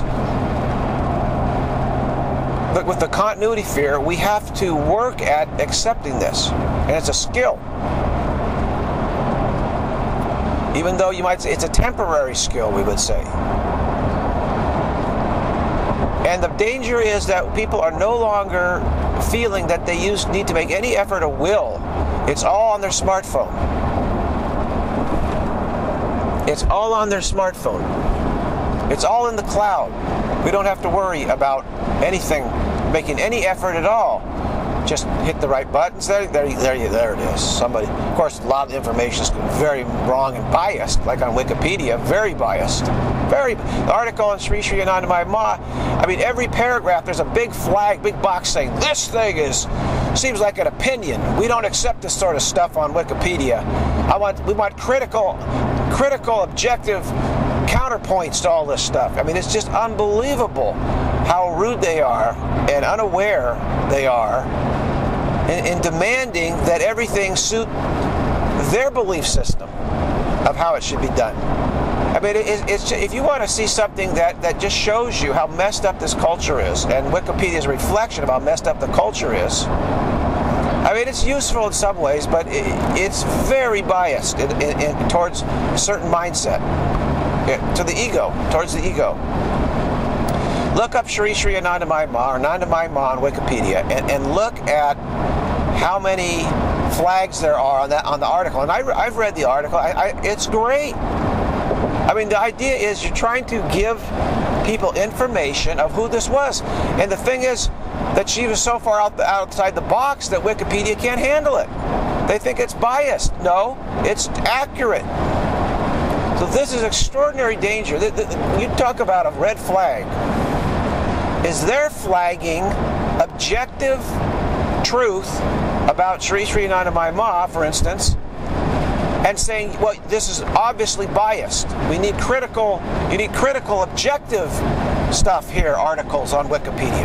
Well, that is objective. It's just that the evidence is outside the realm of the yoga girl's acceptance. So they, they flag it. So they can't have this. So these are extreme red flags. And nobody says anything. Don't want to upset the yoga girls.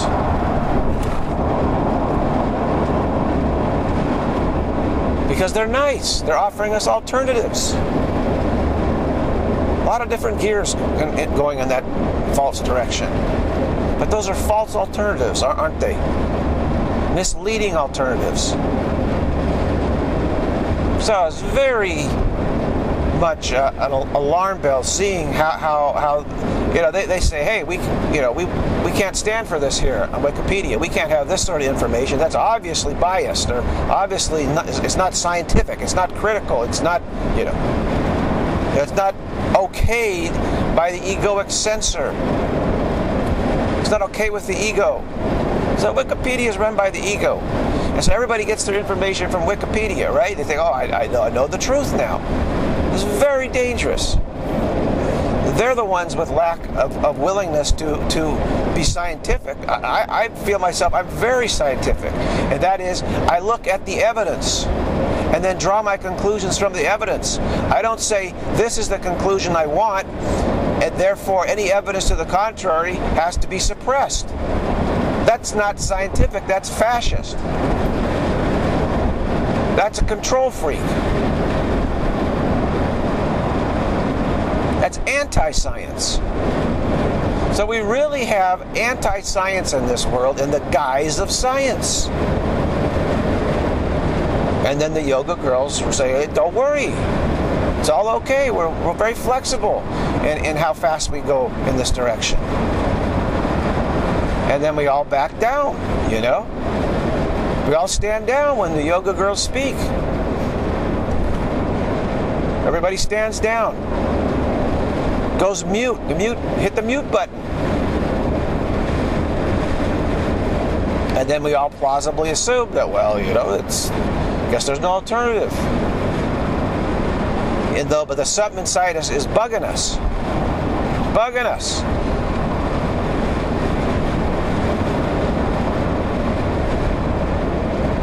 and then we blame somebody else. We, we project it. Say, well, we just get rid of them. Everything's fine, you know. Still going in the wrong direction, but we say, well, the, dire- the direction will we'll be happy as long as we punish somebody. Scapegoat them.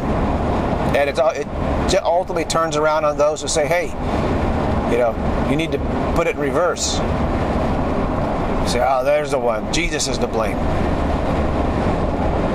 And then, and then they say, well, we, we, we want to blame Jesus, so let's just change his message. And then say, oh, well, see how good we are? We're not blaming Jesus. Well, they, com- they com- turned his message into an egoic message. And they say, well, no, Jesus is a good guy. He's not such a bad chap, you know. He's nice, nice rabbi.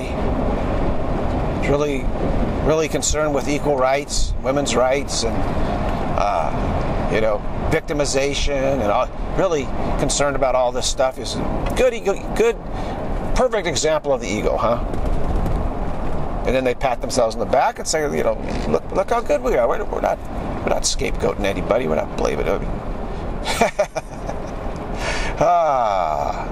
If, but the real Jesus, oh my gosh, they put him up on a cross all over again in no time at all. And they think that they've, they've rid of themselves of, the, of their problem.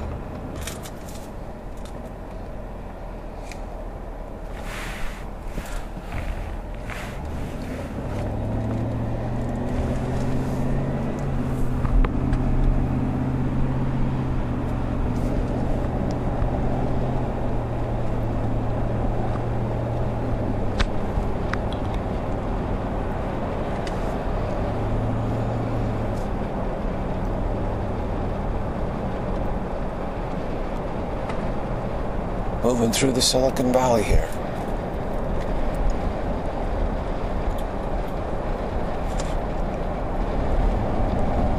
Bringing everything to light, bringing to light what we need to see. And just exercising this. So, like memory needs to be exercised. Well, putting it, in, put it in reverse needs to be exercised too. So when we look at these spiritual people and say, "Oh, well, they're just natural," you know, no, it, the the putting it in reverse is, is something we have to work at because there's so much pressure not to do that. And it's so easy to forget and to fall into, oh my gosh, there's a car with five Apple decals on it. I guess the two parents and three children, they're, they're good little Apple zombies. Boycott Apple Computer. Boycott Apple Incorporated.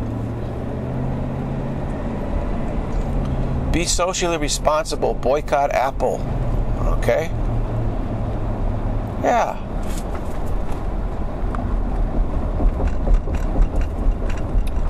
Throw your iPhone iPhone in the ocean or bury it in the sand. Bury your uh, burn it. That's toxic fumes. Bury it in the sand. I can't do that. It's hazardous waste. You know, well, maybe they should have you know Apple iPhone turn-in stations. You know, like they do firearms, and so because they're actually more dangerous than firearms. iPhones, I smartphones are, are more dangerous than firearms. Firearms kill bodies, but but iPhones delay our release from death. Okay, severely. Way worse. Way worse than firearms. So smartphones are worse than firearms. And you know, people say, oh, I don't want anyone to own firearms. Well, let's extend. I don't want anyone. Let's have no one own smartphones. That would be a way better law, actually. Way more socially responsible law than banning firearms.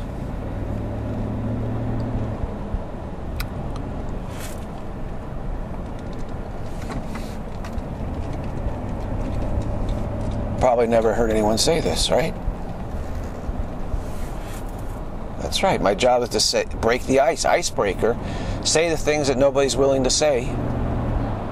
Break the ice, and so people say, hey, I can think that way too. It's okay to think that way. Interesting. I like that. I kind of like that. It's like a new art form. It really is. Speaking the truth is, is like a is like a is like a new social social conscience new art form, socially conscious art form. That's what we do here. We, we present a socially conscious art form to everybody. What could be wrong with that? Well, the yoga girls might be turning up their noses.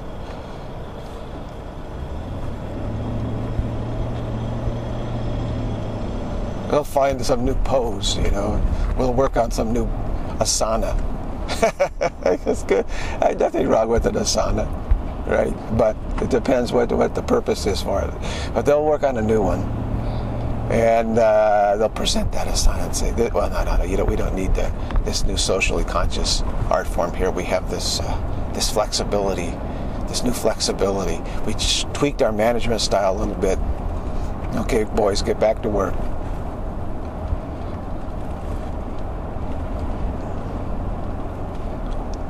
That's it. Come on, boys, get back to work. The guy's got torn muscles here, busted back. You can't stop work. You keep working.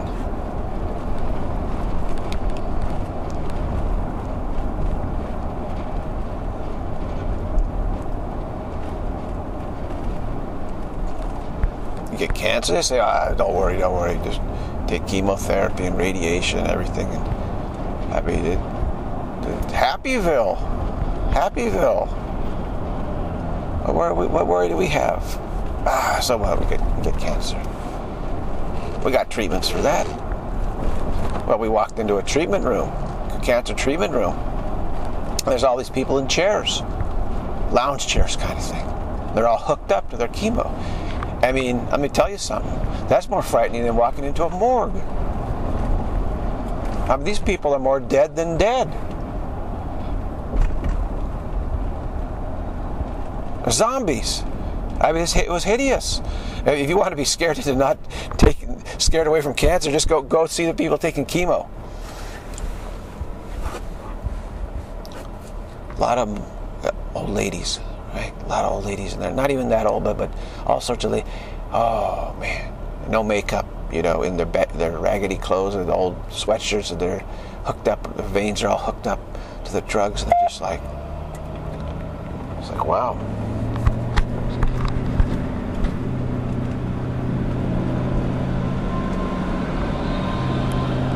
bummer. So we're all kind of desperate, right? Absolutely we are. So I completely honor the desperation. I honor desperation. Got to, right? Because th- this this leads to, to willingness to listen and, and, and, to, and to, to, to go to spiritual gym.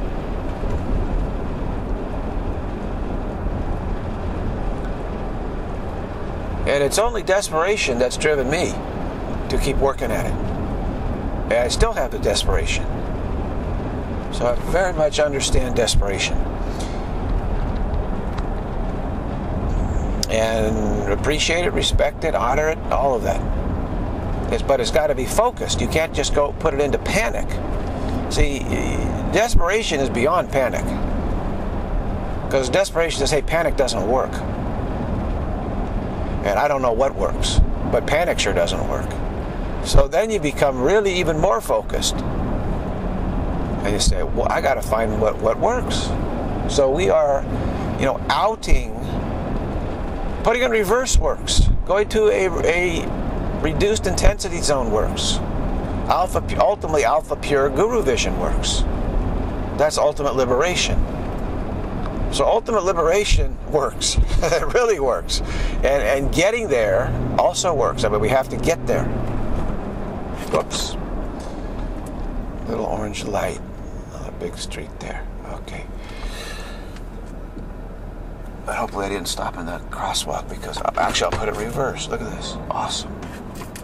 See, practicing what I preach. I'm in Palo Alto. You, you don't want to have your tires touching the lines in a crosswalk because the police will ticket you if you do that. And so I might, the front of my bumper might have been over it just like by a foot. I don't know. It was close. So I looked at the rearview mirror. There's no one behind me. Put it in reverse. Backed off. And it's all good now.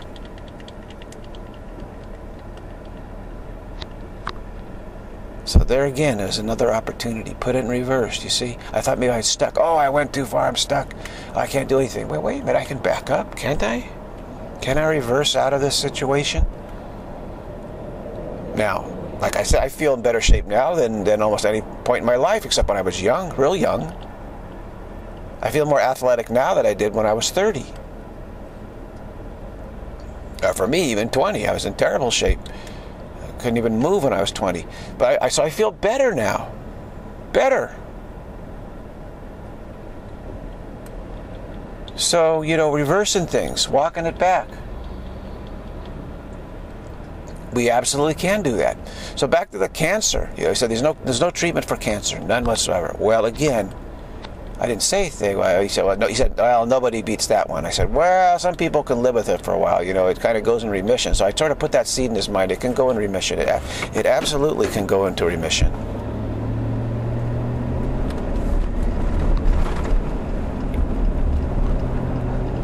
Absolutely can go into remission. Right? And then that's good enough for now, right? Reduced intensity zone, it's good enough a reduced intensity zone is good enough because once it goes into remission then you can you can breathe and you and you can start focusing on alpha pure guru vision and really practice it and really go you know and, and succeed at that and once you succeeded at that then you are truly that's ultimate liberation and there isn't anything else that can really touch you. It can't, nothing can touch you at all at that point. You realize you're, you're untouchable. Misery cannot touch you like Ramana Maharshi said, he had some cancer in his arm or something. Said, that doesn't touch me at all. Nisargadatta Maharaj, throat cancer, that doesn't touch me at all. Doesn't even touch me. And in the case of Anandamayi Ma, having cancer throughout her entire body, metastasized, and tumors everywhere is you know hideous to behold. People are just sobbing, saying, "Oh, it's horrible! This what has happened to our beloved guru." And they, you know, to put her in, in seclusion, the doctor said, "You know, you you got to rest, and then you're going to die real soon."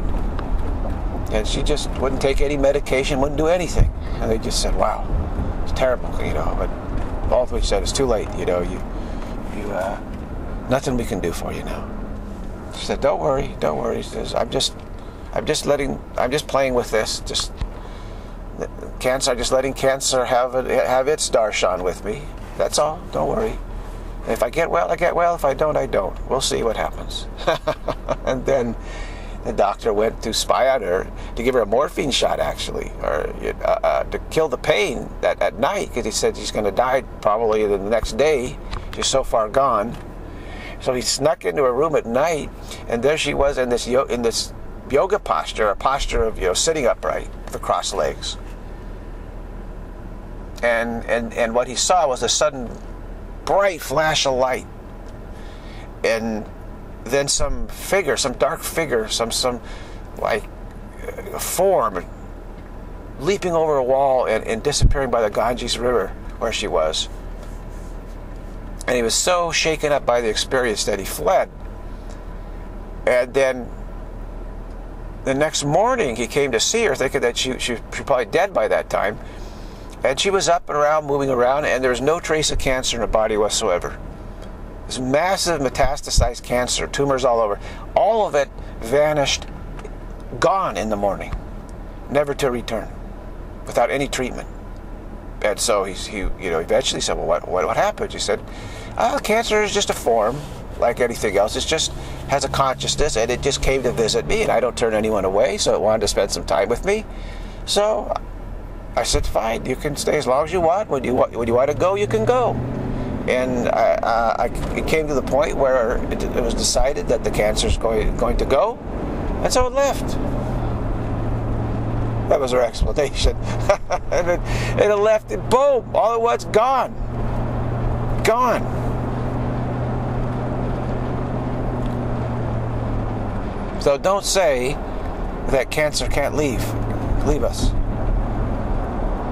Don't say that afflictions. She had many afflictions. She, she, she allowed them to come come to her and play, and it was to help us out, actually, to show us that everything is just a mental projection upon the body entirely. Many illnesses of all different types, and when they left, they just disappeared. They just evaporated. They just vanished. So, you know, people, oh, she's so sick. She has this terrible illness. I don't know how she's going to get better. She's not treating herself. And then, at some point, there she was, fine, as fresh as a daisy. They say, well, what happened? Oh, it's gone. It decided to leave. Decided, you know, just left, gone, vanished. Well, what, what, what, what'd you do? What, what? Yeah, I was like, what? So, tremendous witnessing, tremendously helpful witnessing to us, and people have just ignored it. So this really aggravates me. I, I tried to do something about it. Spent my life trying to do something about it. I said because this this evidence is important to us because we're all claiming there's no evidence. So everyone's complaining, well, I can't get free of it. I'm sick. I can't do anything about it. And I say, well, there's this evidence right here in front of your face, and you, you refuse to pay any attention to it. And everybody just kept refusing to pay attention to it. It hit dead end, brick wall. So even when the evidence is given, we don't pay attention to it. That's how sick we are. That's the power of the continuity fear. So at the least we can do is recognize that we have have had the evidence, but we we we insisted that we not you know we pay attention to it. We refuse to pay attention to it. But by acknowledging this, that's a step in the right direction. That's called repentance. We say it's my fault it's not the lack of evidence, it's my fault for refusing to pay attention to it. So this, this is called repentance. This is what we have to do. It's a real nice juxtaposition here. We're, we're by a school and all these children, young, you know, young kids like preschool or kindergarten, their, their playground, they're all running around, so happy and screaming, getting on their, you know, on the swings and just oh, having so much fun. And then they're all around us. There's these benches and these old people, all these decrepit people are around here. You, you see the juxtaposition of the, of the of the old and the young. And and you know that the, the young and there's a Google self-driving car. All, there's the bigger one, the Lexus, just all absolutely decked out in every kind of box possible there. And here's a whole bunch of old people watching walking across the sidewalk. They're stumbling along, so aged and, and decrepit, you know. And these young kid, the young people are, are, oblivious to us. The kids is ah, it's so much fun, and yet this is where they're headed. This is where they're headed. Is is that a happy life? Happy life to be aware of that, or are you supposed to just be unaware of it? What good does unawareness do, actually? What could this unawareness do? They say, well, ignorance is bliss, supposed to ignore this? Well, Buddha ignored it for his first 30 some odd years. They hid it from him. Then he, he had to go outside the compound walls of his palace and he saw these old people. Said, what the heck is this? Because they kept the sight of old people, any sickness or decrepitude, away from him. So he never saw it because they're afraid he would become a renunciate. so uh, he saw the old people. He said, Wow, what is this? These are the beggars and the sick people and every the decrepitude, right? Well, we have it all around us. And then Google self-driving car just did a U-turn where they're not supposed to do it, and they're maybe they're lost. ah, they don't have reverse in the car. You know, they don't. Do they know when to reverse? You see, this is the question: self-driving cars. Do they know when to reverse? I mean, if you're in a situation that you want to reverse out of, like someone stalls in front of you, does the car know when to reverse? Does it make those decisions for us? Is that really true? Is that what we want? We, we, we trust the programmers, uh, the machine language stragglers, to program our ride for us, our future, our destiny is this is this is what we're trusting in right now. Uh, I don't think uh, I don't think I want to trust in that. It's just the you know it's a hunch, right? I mean, just kind of an intuition here. Uh, it's more than that. It's it's clear observation, clear recognition. It's a combination of, of wisdom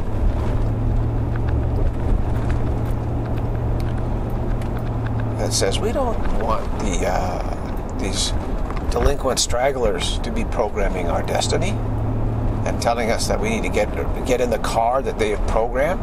Because what if we decide we want to put it in reverse and the car doesn't understand that? you know, we're using this as a metaphor, of course the tech people say, "Oh, we got that covered too. Don't worry." Whatever problem, whatever problem you bring up, the tech people they always say, "Oh, don't worry, don't worry." It's like, no problem, no problem. Yeah, we'll make a few tweaks in the software, no problem. I mean, they never admit that there's any problem. as far as their software, you know, their capabilities. Oh, we'll take care of everything. No problem. So this is a very disconcerting attitude. Very disarming, very disconcerting. It's overconfidence. You see the young people, they're way overconfident. Way, way insanely overconfident. Insanely overconfident about pragmatic matters and their their ability. They say, "Oh, well, there's, there's, there's, oh, there's a huge yoga, oh, a huge yoga place we just passed. My gosh, glass windows everywhere. I mean, it's a multi-story, massive yoga complex just passed. This is where the, the yoga girls of Palo Alto hang out. One of probably many spots, and that's a good spot for the. There's a center of the yoga girls here in Palo Alto. So the overconfidence is just uh, off the charts haven't been in this area before. Getting the taste of it all here.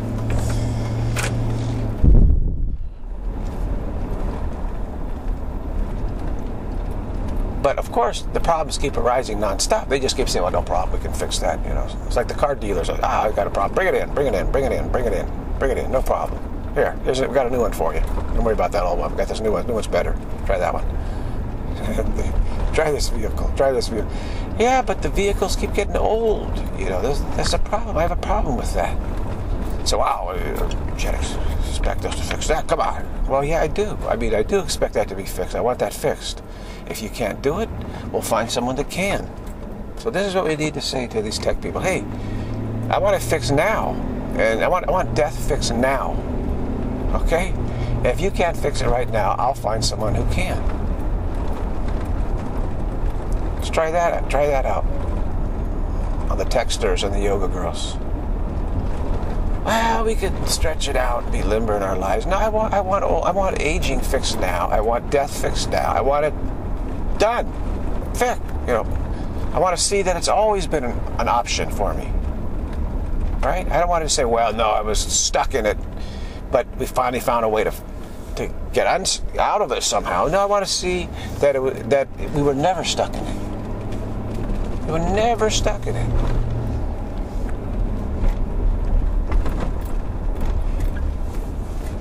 And I want to see that now. Anything less would be uncivilized. Make on our way through the mean streets of Palo Alto with self driving cars that we're supposed to trust trust trust the stragglers And a nice Amazon delivery vehicle there. Just it's just like bees around here, you know, dropping off Amazon packages.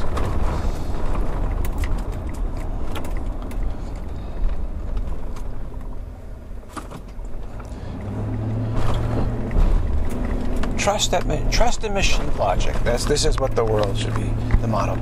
We trust in machine logic.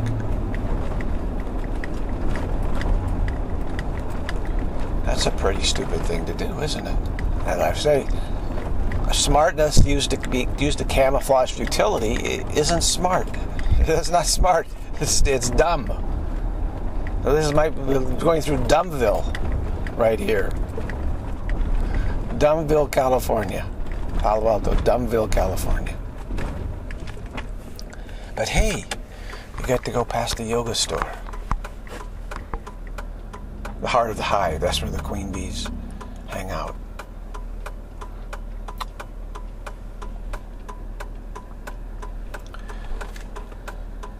There's a someone on a massive iPhone. That did boycott, boycott Apple. Come on, have a social conscience, please.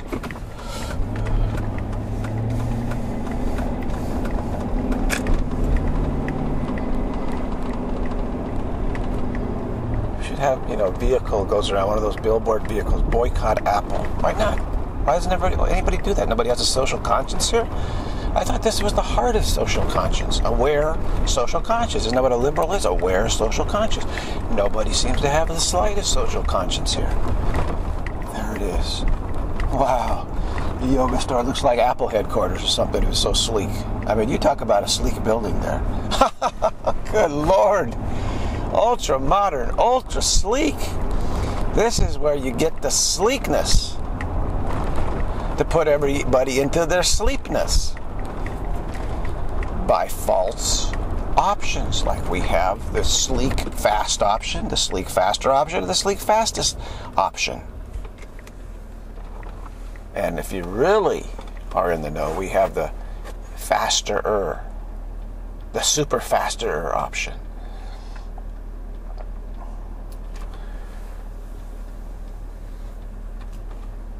But we don't have the reverse option. What, what do you need that for? What do we need that? Come on. That's like, that's ancient. The, the reverse option? That's ancient stuff. Really. I mean, that's so out of style. It's crazy. I mean, the sleekness is this stuff. It's not sleek. Come on. There's no. You see anybody sleek talking about reverse? Anyone modern and sleek and smart talking about going in reverse? don't hear that. Nobody's, nobody does that anymore. it's like some sort of mythical thing, you know. It's actually, tell you the truth, you know, it's uh, some sort of mental disorder, but you know, we're working on it. You know, as soon as we get a pill for that, we don't have to even worry about it. So why even talk about it? You know, don't need to even talk about it, right? Sweep it under the rug. Let's get back to sleekness. Breathe, breathe. Sleekness. No reverse. As we travel through the heart, one of the main coronary arteries of Dumbville.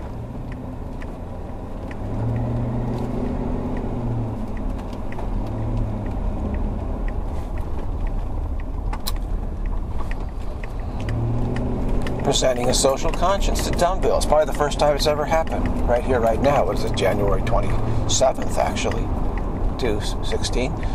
This is a historic moment.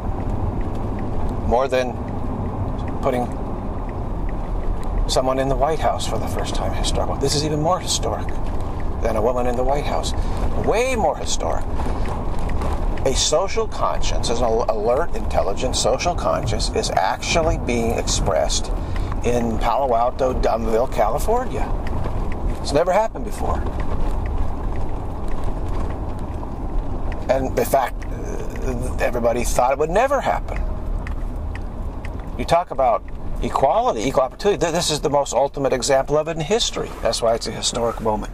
And we're capturing this historic moment live. Beautiful MP3 audio here. I mean, what's going to happen next to commemorate this great moment? This is a life changing, world changing moment.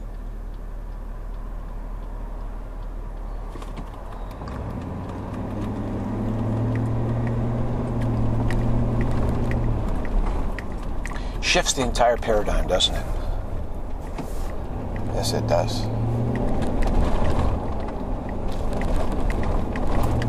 Taking a little alternate route here. I don't know why. uh, well, to spread the gospel even more. This historic gospel, this historic moment. Genuine social consciousness expressing itself here in Dumbville, California.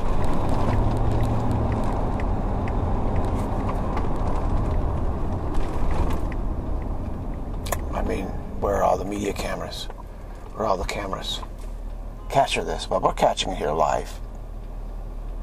We'll post it, will be presented. The world will never be the same.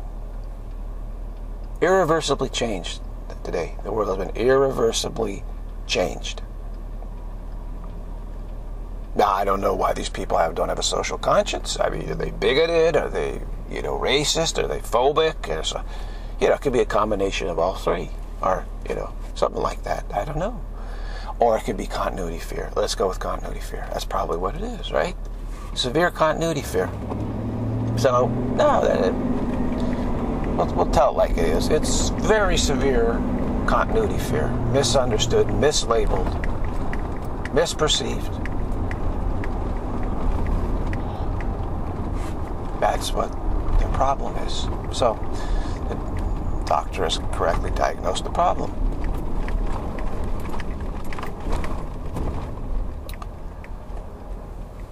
Oh, it's a lovely day around the bay. Spring like weather. The trees, the blossoms are all out. And after all, we're getting close to February. And can I go here? Yes, I can.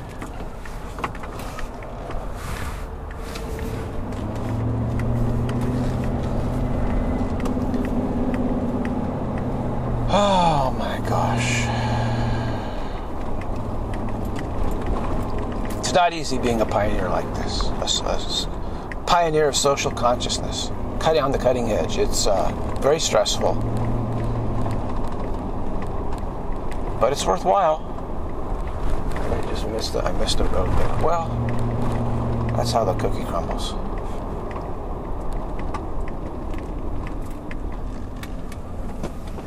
Let's go this way. I'll probably get lost now. I get very lost. Uh huh. But more opportunity to spread the social gospel of a true, true social conscience. Yeah, I'm. Yeah. Okay, I'm okay here. I'm on the road. Just took an alternative route, worked out fine.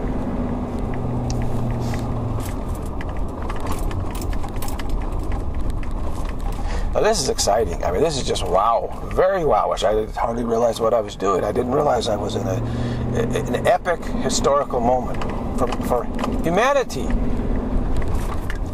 True human values were being expressed for the very first time in Dumbville, California.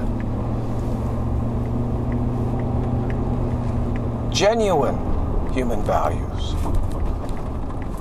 meaningful human values.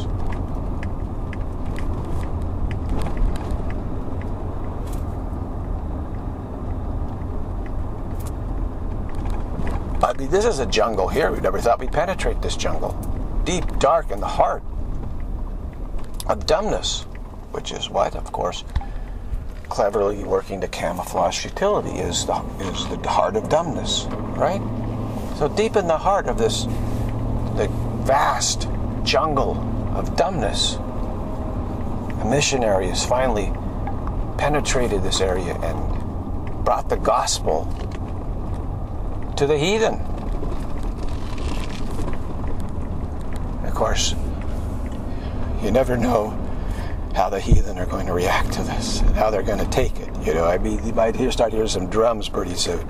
I maybe I better get out of Dodge quickly. I uh, get in my dugout canoe and and start paddling here. I don't know. Kind of feels that way. Wow. Uh, I just had a yoga girl jam the car in front in front of me. I had to stop, and I was stuck out in the other lane. It was uh, it wasn't good. Now she's now she waves. She's waving at people. Okay, great. He said, "Well, I got the flexibility. I could, I could, I could just jam my car in here. Oh, gotta stop. That was uh, not a good situation at all. but hey, that's what flexibility will do for you. Absolutely, we're in the heart center of Dumbville, USA. experiencing experiencing it for ourselves. I mean, we used to do what tourist trips through Haight Ashbury in 1967. It's 1960, 2016 now, and we're doing a tourist trip through Dumbville, USA, which is in some ways even more intriguing. The Denzians of Dumbville, USA are. It's a subtler thing, but you have to attune your consciousness to it here. It's really more extraordinary than even Haight Ashbury was. Haight Ashbury was uh, kind of kitschy, you know. This is more sophisticated. It's more sleek. Hippie chic back then. This is dumb chic here. they're on the dumb drug. You know, they're on the dumb down, the, the smartphone dumb drug. So you get a little bit of different flavor here as we're taking our tour along one of the main arteries here, ladies and gentlemen, of Dumbville, USA. You see a huge project there. Massive new building is going up house even more denizens of Dumbville. Uh, let me make sure we got to stop here behind a crosswalk, or you're going to get a ticket because they want things to be sleek, sleekly and elegant. And okay, there's someone on a crazy inventive bicycle. a reclining bicycle sort of thing. And uh, if you keep your eye out, you might even see one of those self-driving cars. They tend to travel up and down here. But don't don't feed the animals here, folks. Keep your hands in the hands in the bus and pictures are okay. Actually, maybe not. They don't like to have their picture taken here. That's why we're doing audio.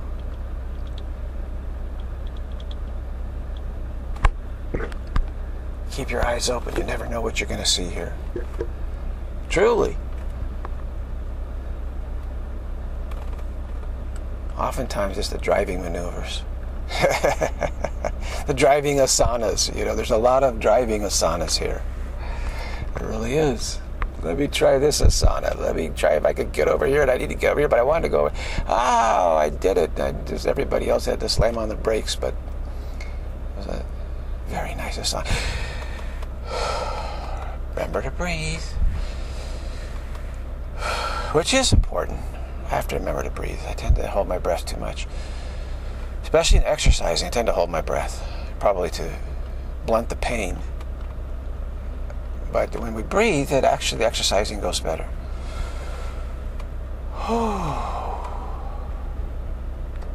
Beautiful spring-like day here in Dumbville, USA.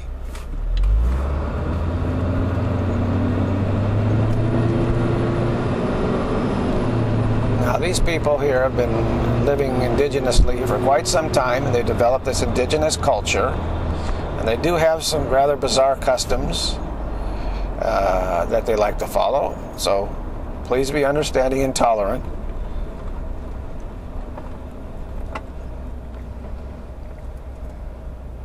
And you know they just haven't had much exposure to the uh, the outside world here. So this is part of their problem. And even when uh, evidence is brought to them, they don't examine it. That's another part of their problem. They have some very strange rituals and beliefs here. They worship, idolize machine logic and you know, very archaic stuff here. I mean, th- I mean, this is a you know extremely archaic culture, Paleozoic.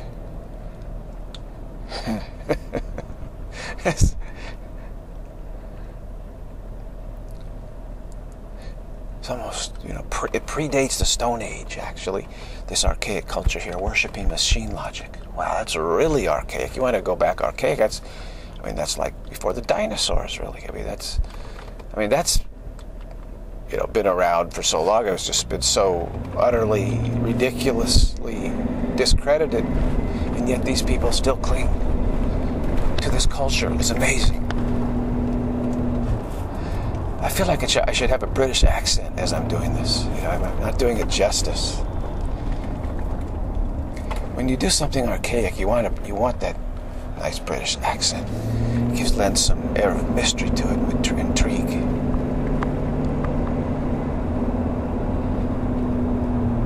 But I'm not in the mood for a British accent. Not really.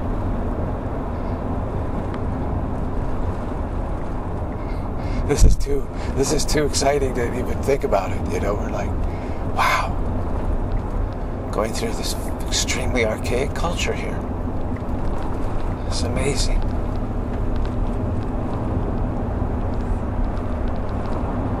Don't worry, folks. We'll get you out of here. Trust in the driver. The driver knows what you know. Won't be stuck here now, so it's okay.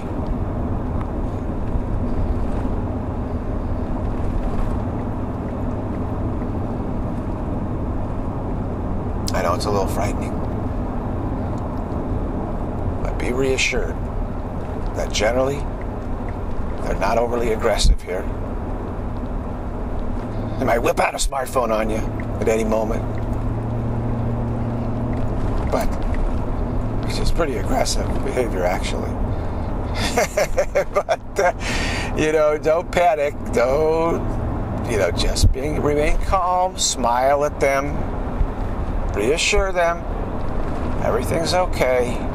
You're not threatening, you're not threatening them. You know, you might even want to wave and grin and smile and, you know, act like you're friendly. Make sure you assure them you're friendly. They might, they have a tendency to get very insecure if you give any evidence at all uh, of your advanced condition of your freedom. Any evidence of all of your freedom is, is very disconcerting to them. So try to sort of pretend like that you're you're kind of bound by the same archaic stone, you know, stone-headed miasma as they are.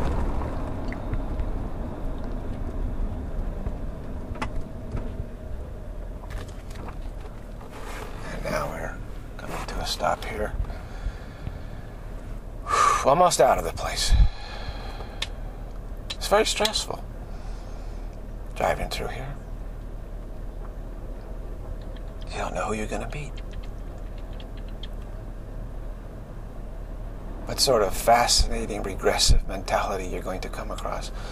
But of course, you, know, you limit your exposure, people, to this. I mean, we're, you know, just a little bit goes a long way, doesn't it? Yeah. Kind of, sort of contagious, sort of a mental contagion that they're suffering from here. You kind of want to be wearing your mental respirators, keep you from breathing in the ideology.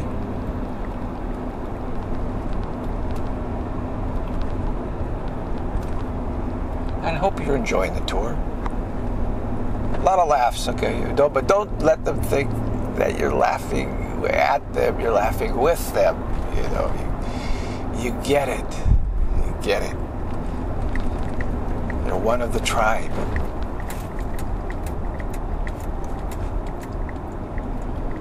And don't let them see that you have a gen, you know, an actual social conscience because they're kind of very regressive in that way, very conservative. It's really super super duper archaic conservativeness here. They still cling to these vastly outdated and discredited paradigms. And it's actually, I know it's shocking that they've haven't progressed for so long. Uh, but it's, it's, yeah, a little sad actually. Well, very sad. It's tough to take.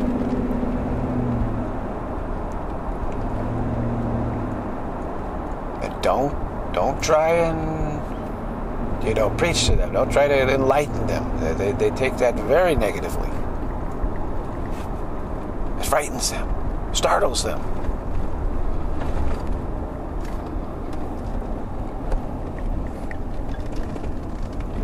Then they might get a little aggressive. Might turn to their warriors, the lawyers. I say lawyers or warriors, and. Uh,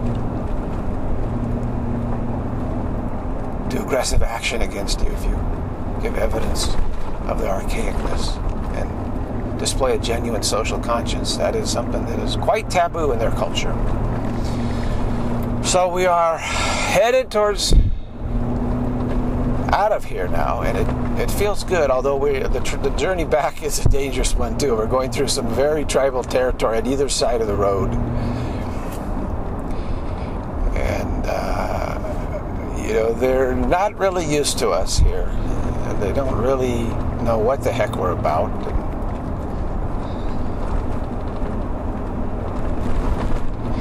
like a Haight Ashbury, the hippies would hold signs like "Don't gawk at us, we're people too," you know. So they'd all these all these signs up to all the tourists. that was a Stone Age culture there. All right. We're out of there. We made it out. made it out alive.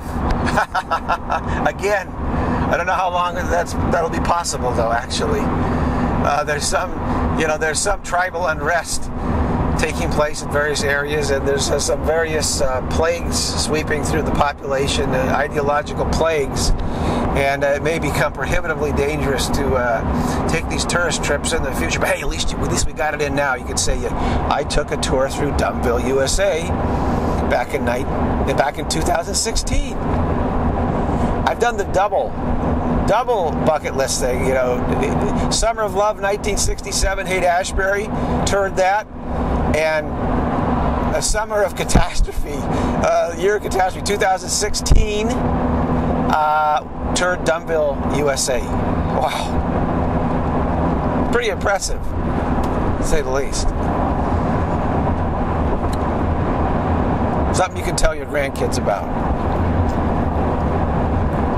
In a far better place. As we, as we rest in Arizona, the Arizona, the, reduced intensity zone, the land of the realm of reduced intensity zone, Arizona, we could we, we, we, we could tell each other that yeah, I did the double. I doubled down on the tours there. It's just uh, it's pretty impressive. Impress your friends. Got to.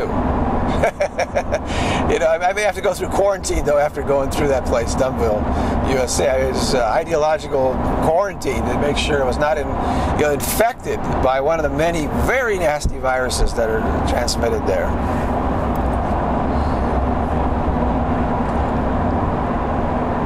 But I've, I've, I've got a lot of immunity built up, so hopefully I'm okay. You never know. I mean, it's you know, it's, it's very it's very transmissible actually.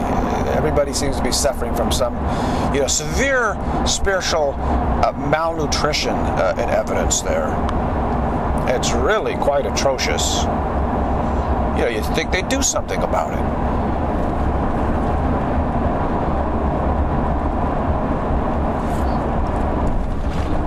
There's there's I mean, there's treatment for this stuff, for God's sakes. Uh, but they, but they refuse the treatment. It's some sort of ancient taboo that they have. They refuse the treatment. And of course, we, we provide evidence for them of the treatment, but they, they get very agitated when we provide evidence and say, look, this stuff, you know, it really works.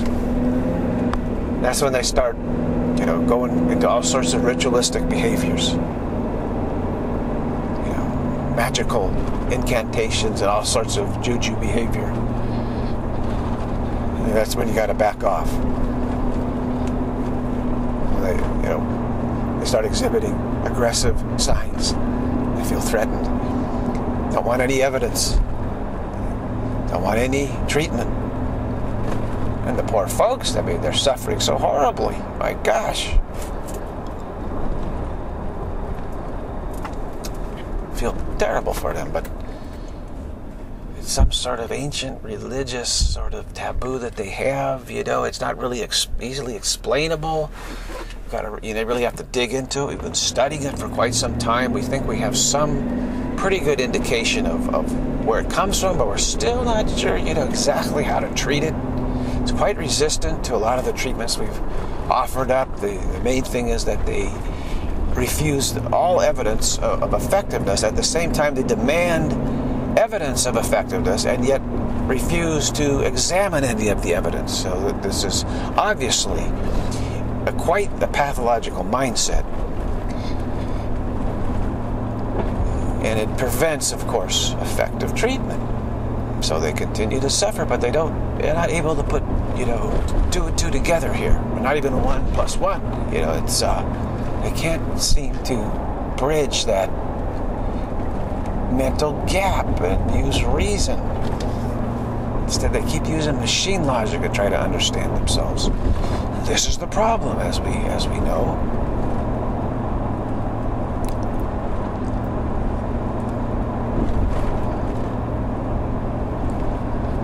Spiritual anthropology. It's uh, it's, it's quite fascinating and very challenging to say the least. Uh, you know, you could see what the mistake they're making, but keep making it over and over and over again, and then blame some sort of magical scapegoat. You know, that's what's causing it.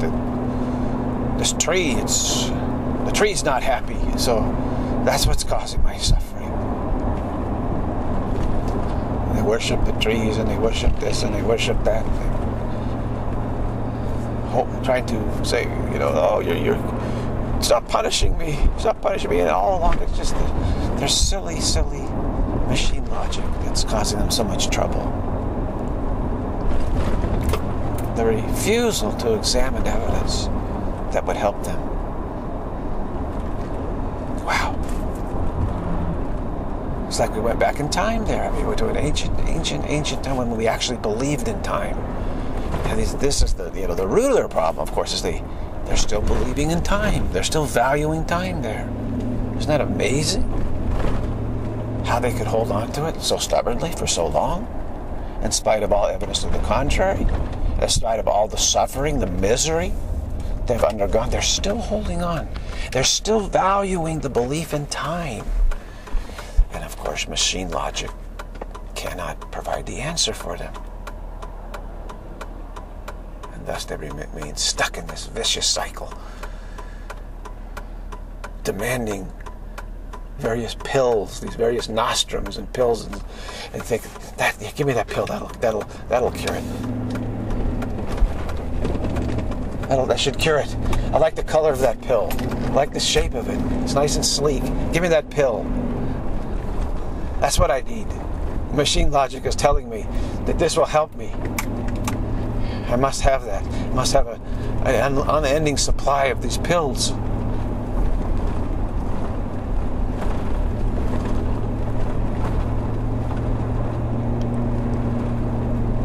Kind of pathetic. It's a real scratcher, isn't it? But, you know, I mean, we know what's wrong. It's just that it, it just, uh, they're very resistant. They're very resistant. Uh, you know, how much suffering is, is too much for them. They don't, they don't, can't make the connection. They just give me another pill.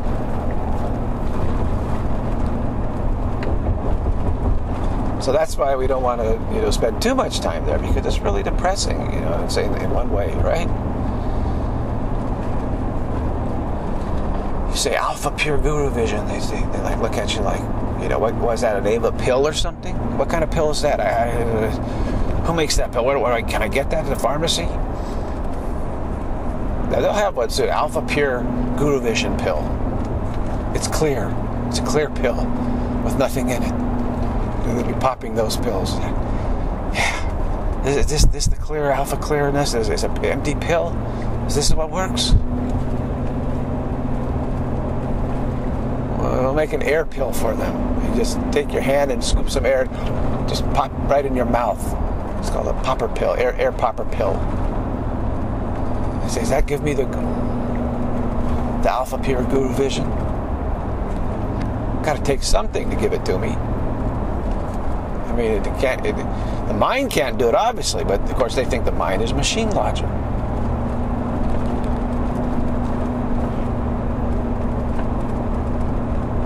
So, a, uh, you see what we're talking about here? It's it's not easy, you know, working with these folks. It's a real challenge. Yeah, we kind of need to be rotated in and out of here. Actually, you know, if you're a missionary to this this place, I mean, you you you don't want to stay too long no, I mean, so some of us have been so committed to helping them, we stay a little longer than we should, and then we end up coming down with so, you know some of these plagues, some of these diseases they have, here, these indigenous diseases. And I'm telling you, they're nasty diseases, really bad. You know, because they, insist on treating him. You know, as soon as he gets sick, they say, "Oh, you're one of us. Great. Here, let's celebrate." And then they end up treating the illness. It, it makes you worse. Way worse. And they treat that too, and it get worse. So it's you know you, you end up going down, down, down, down, down, down, down the drain, which they think is a blessing. They feel special to be able to die. You know, death, as we know, death is just an arrogant desire for specialness. So they feel very special. Like I, I get to die. I can die. You guys can't die, but me, I could die. Wow. That's really special.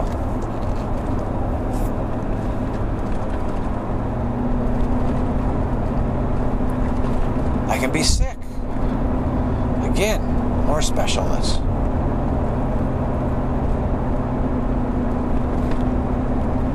So you catch that sickness, death, disease that they have of specialness. Before you know it, you kind of start thinking that you can die. it's like, I know, he's like, what? What are you talking about? I know, I know, it sounds very strange. Very strange indeed. It is. It's bizarre, actually. Somehow they've tied their mind, you know, they've turned themselves into knots. You know, they've turned themselves every which way but loose and they've come up with this, you know, death sickness stick, and they they, they, they, they think they worship it. You know, they think it make this is makes them special. It what gives them identity. It would it gives them meaning. It gives them life. And they think this is this is all important. This is their life. But death is life. You know, this is what they believe. So, you know, very toxic beliefs and very primitive more than primitive, you might say, very pathological. And so we don't want to stay stay there too long. Moving on. Rotate in and out. Let's let's let's take a vacation from that. Shall we? While the drama of life, uh, this absence of life, presumed absence of life continues, continues, continues. There's someone I someone that really helped save my life. I wouldn't be here like this if it weren't for him. Uh, he, he turned my life, helped turn my life around recently, uh, and I'm on fire now because I was able to find the will to turn it around. He's the one that actually catalyzed it, and I find out that his uh, close close relative has uh, got uh, severe health health issues, very very very bad not long to live, etc. They just found out the news that it's really, you know, it's like, wow. So, what can I do? You know, it's, uh, well, who, who says we can't do anything? You know, it's an opportunity, opportunity to, you know, give a favor back. Really, I told him today. I, I hadn't been able to have a chance to tell him. I told him that he really helped turn my life around. He just was thrilled. He says, "Wow, thank you. That's really great to hear." and it's true. It's really true. I was I was circling the drain. I, I, I couldn't find the will to get myself you know fired up again. And just said, well, this is it. I, I, I guess I lost my will to live, and and uh, he, the Holy Spirit tricked me through through him, tricked me into finding another gear. Right, I found reverse. I found reverse gear, and I'm sort of going back in time now. Actually, this is really what's happening. I'm going back in time meaning backing off valuing of time. I've been backing off my valuing of time, and this is reversed. I feel like I'm 30 years old now. Uh, and, and, and he, he the one that, that lit the fuse. He lit the fuse for that, you know. And I, I, I was able to express it to him, at least, you know, in part. You know, maybe he doesn't understand the, the significance of it, but, but, but I was able to do that. So that was really like, I always wanted to do that. I just did it. So I, I saw him again. It was tremendous. Very, very wonderful guy.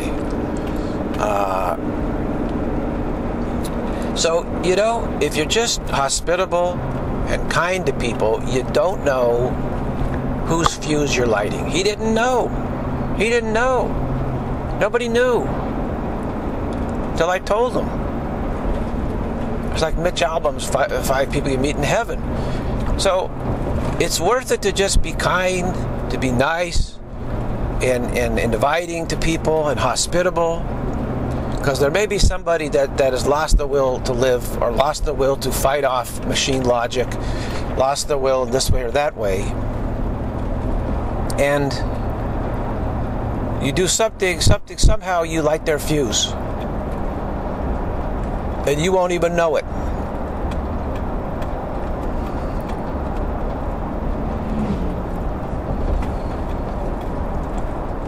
And they make a huge difference. I mean, look look at the, the difference. I mean, I've, I've been able to be more supportive uh, of so many people and functioning so much better because of it. So it, it, a little thing can be a huge thing, actually. It can turn into a huge thing. Like Ramana Maharshi told me when I was ready to give up previously, about almost 20 years ago. He said, look, no, no, no, no. Don't, you, you can't give up. You're going to do great. I already know you are going to do great. And, and what you're doing is fabulous. I love it. You know, don't don't worry about any comparisons. You know, you're right there. You're right there. Just keep going. Keep going. And it just gave me this pep talk. You know, this very sincere pep talk. That that you know that saved my life too. Because at that point I was just saying, well, it you doesn't matter how what how much you try, effort you make here. That doesn't help. Nobody cares.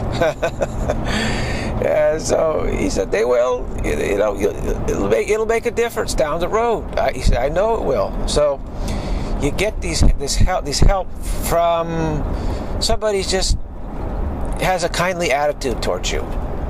Really. I know it's harder for all, for all of us to do, but if we could just, it would be great if we could be that way all the time. And hopefully these videos represent a certain type of uh, courage and willingness. A willingness to, you say, you know what, everybody, go for it. You can do it. There's a feeling like I, I got trusted people that they that they can do it. I think this is what, what I have. I really believe and trust in our capacity to to accept ultimate liberation, alpha pure guru vision, really, the vision that, that nothing is obstructing totality at all which is really what it is. Nothing ever obstructs totality, in the slightest bit. Nothing obstructs our awareness, totality's awareness of itself. Nothing ever. Guru, Alpha Pure Guru Vision. So I just believe that you can do it. So this is my very strong belief for everyone. Not only you can, you will do it. You will do it. At some point, you will do it. And that's what Ramana Maharshi told me. He said, I already know that you, you're going to do it. There's no question, no doubt about it. I could tell he was he was serious. That he he, he literally could see that. So this is a very you know very helpful attitude to have. That the more people in the world feel this way, the better the world would be for sure.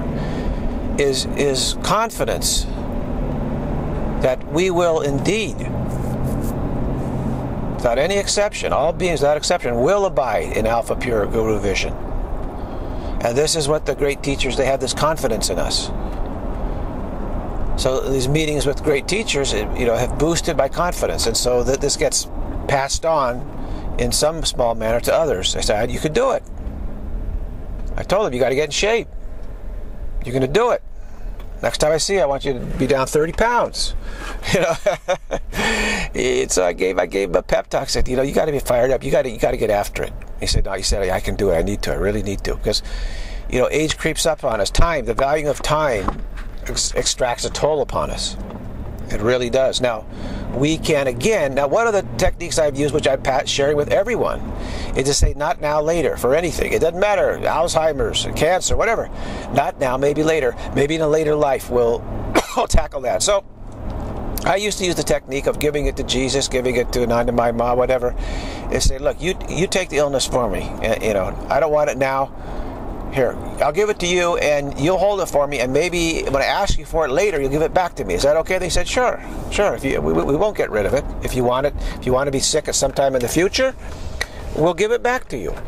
So this is what I'm saying. This technique works. I have experienced miracles of healing in my life. Very dramatic. And just recently a number of, I mean, dramatic stuff dental problems where I was getting all that severe pain, you know, of, of, of heat and cold in my teeth. And I said, wow, this is a sure sign I've got some major dental problems and I can't, I don't have money to pay for it. And this it was in a ruin my vacation. I said, I said, the Holy Spirit, I said, look, Holy Spirit, just do whatever, whatever you want to do. I don't care how you do it. You don't need to tell me how you do it. Just make it vanish. And within, within uh, the next day, actually, it was gone. And it has not returned at all. And I'm not asking the Holy Spirit how it because it just it just is holding on to it for me. He said, "Okay, I'll, I'll vanish it in this time frame, and if you want in the future, a future life to to to suffer, you know, dental decay and such, fine, I'll give it back to you."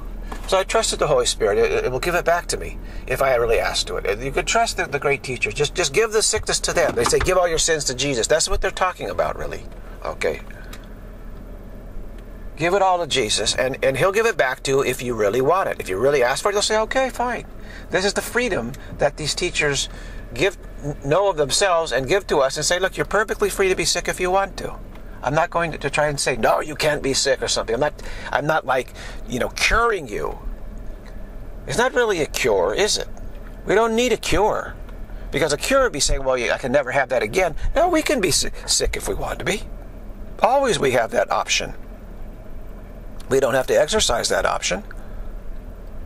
So this is the way to really go about it. So my my opinion is everybody here, I'm trying to get to this, is that all aging, all sickness, every affliction that people have, it can vanish for them instantly, actually. And, and, this is the benefit of the great teachers that have been here. For instance, Sri Sri Anandamayi Ma, with all her giving evidence, is, is paying attention to that. Then this attitude, this confidence, you know, is something that I have been working towards. And this gets passed along, and it makes, you know, an enormous difference on, on a subtle level. If anybody, you know, the more we have that attitude that nobody is bound to what they're experiencing at any moment. They're not bound to it in the slightest bit, and nor do they have to get rid of it forever. They can put it, and they could even put it in a, in a future life. Say, okay, let, let me, let me, I'll deal with that in a future life if I choose to, but it's out of my, it's out of this life entirely. We can literally do that. And that has to do with everything Alzheimer's, pancreatic cancer, whatever you got, you can say, you know what? I think I'll tackle that next life. Now, maybe you decide, no, I'll tackle it this life. Okay. but the benefit of saying you tackle it next life is you ultimately begin to realize that there's no necessity to it. so when you get that very clear and you realize you can do this, you say, well, wait a minute, you know, I don't really I have the freedom like this, so I'm free to either experience it or not experience it. And you, say, you might say, well, you know, so for now, I'll just keep, you know, not experiencing that for as long as I like. So that future life could be, you know, eternity, an eternity away, or not even engage with it at all. Very simple. Okay. Update on the phone crisis. The Holy Spirit found a way around it. Well, all blessings to the Holy Spirit. Really. Uh, we found a phone we didn't even know we had in it. We were going through a closet and there's this phone in there. We said, "What is that?" And it was somebody that had a guest here. They didn't they don't need it didn't any, didn't need it anymore. They left it. And it's a really nice phone. It looks like a smartphone. It, it, it's the precursor right before smartphones came out. It's not a smartphone, but it's a precursor kind of. And it's you know it's got a, all the all the all the letters in separate little little uh, you know little things you push and I show it to people. They go, "Oh, that looks great!" You know, like like because it looks kind of like a smartphone, so it looks smart, and people like it. You know, uh, they're comfortable with it. But it, it's not a smartphone. You know, it's not a touch screen. It's not doesn't do it. It's no apps on it. Nothing. It's just calls and text. That's it. But it's got this modern, sleek, you know, look, and, and so everybody's happy now because. So it seems as though this insane crisis has been averted at an astonishing way. We didn't even know. It just came upon this phone by accident. And it's the perfect phone. It's even got the right color scheme, white and with white, you know, with chrome and little, little black trim.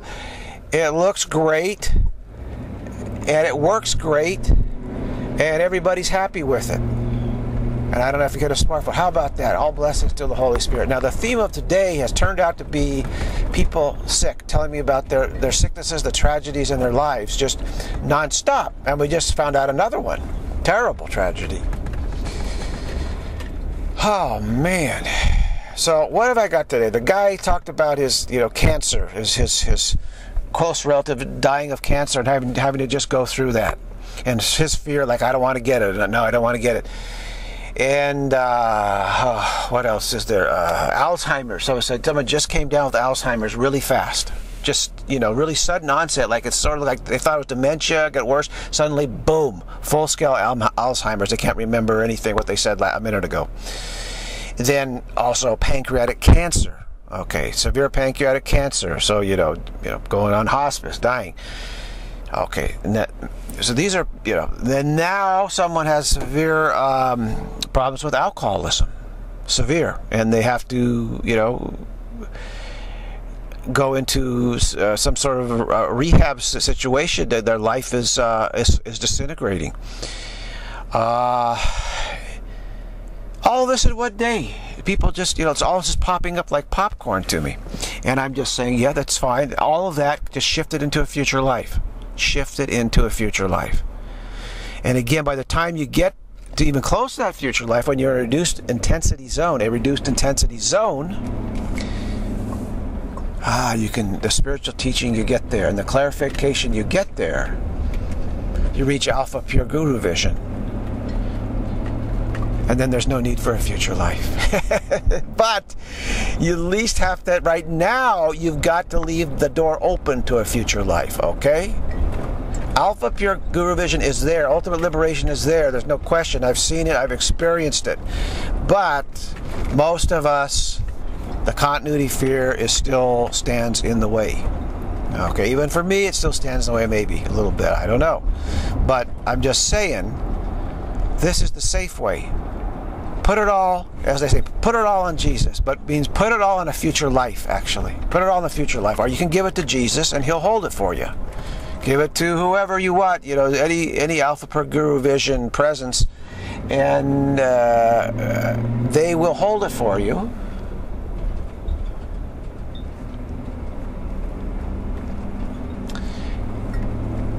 And if you ever, you know, if you, Holy Spirit will hold it for you. And if you ever want to re-engage with it, there it is. Holy Spirit will not will not say no. You can't do that. It's bad for you. No, no. No, the Holy Spirit will say if you want it, you got it. If you want it, here it is. Come and get it. It's here. But you better no, you don't need to hurry. Uh so this is the theme of the day. And extraordinary. And to start out talking about how we're able to, Anandamayi Ma is able to just shift everything off of her instantly. She, she let it let it happen because she wanted people to see it, and then she is shifted right off, gone. And how this is very, very, very, very helpful, very, very helpful uh, for us to see that happen like that if we pay attention to the evidence. And we, we tend to not pay attention to this witnessing. And so she's not just, you know, a beautiful a beautiful woman or a beautiful person. No, no, no, no, no. She's someone who gave us this super important evidence. Not the only person who's ever done this by any means. But I'd say the extent that she did it is it may be unprecedented in this world, actually may be unprecedented. The amount of it and, and, and the variety of these miracles, you know, getting getting bit by a cobra, putting her foot in, in, in, the in, in, the way of a cobra strike, so it strikes her and not one of her devotees, and then and she says, "Don't worry, you know, it's no trouble at all," and nothing happens, you know. they say, "Oh no, you're gonna die." No, no, no, no, no, it's all good. She could make any situation just vanish instantly. And that's the power of the Alpha, Alpha Pure Guru Vision. Absolutely, it is. And that's something we all have access to. It is what we are, actually. So, all these people are, you know, all this illnesses, all this sickness, all this tragedy. And uh, I'm not shaken up by it. I know just, I know what to do with it. Just put it in the future. A plausible future. A maybe future. A maybe lifetime. A plausible lifetime. A possible lifetime where we will engage with it in that lifetime if we decide to have that lifetime, but not this lifetime. Say, no, this lifetime, you know, I decided I'm not going to engage with any of that stuff, any of the sickness, any of the troubles. No, I'm just, I, I'm going to enjoy this lifetime, right? I'm going to really enjoy it. Do that. Just do that. So, who knows what is next? I mean, every day should be a wow day, and, and, and there's plenty of room in this day for even more extraordinary uh, experiences. I'm certainly ready for it. All right. Well, we'll see what happens.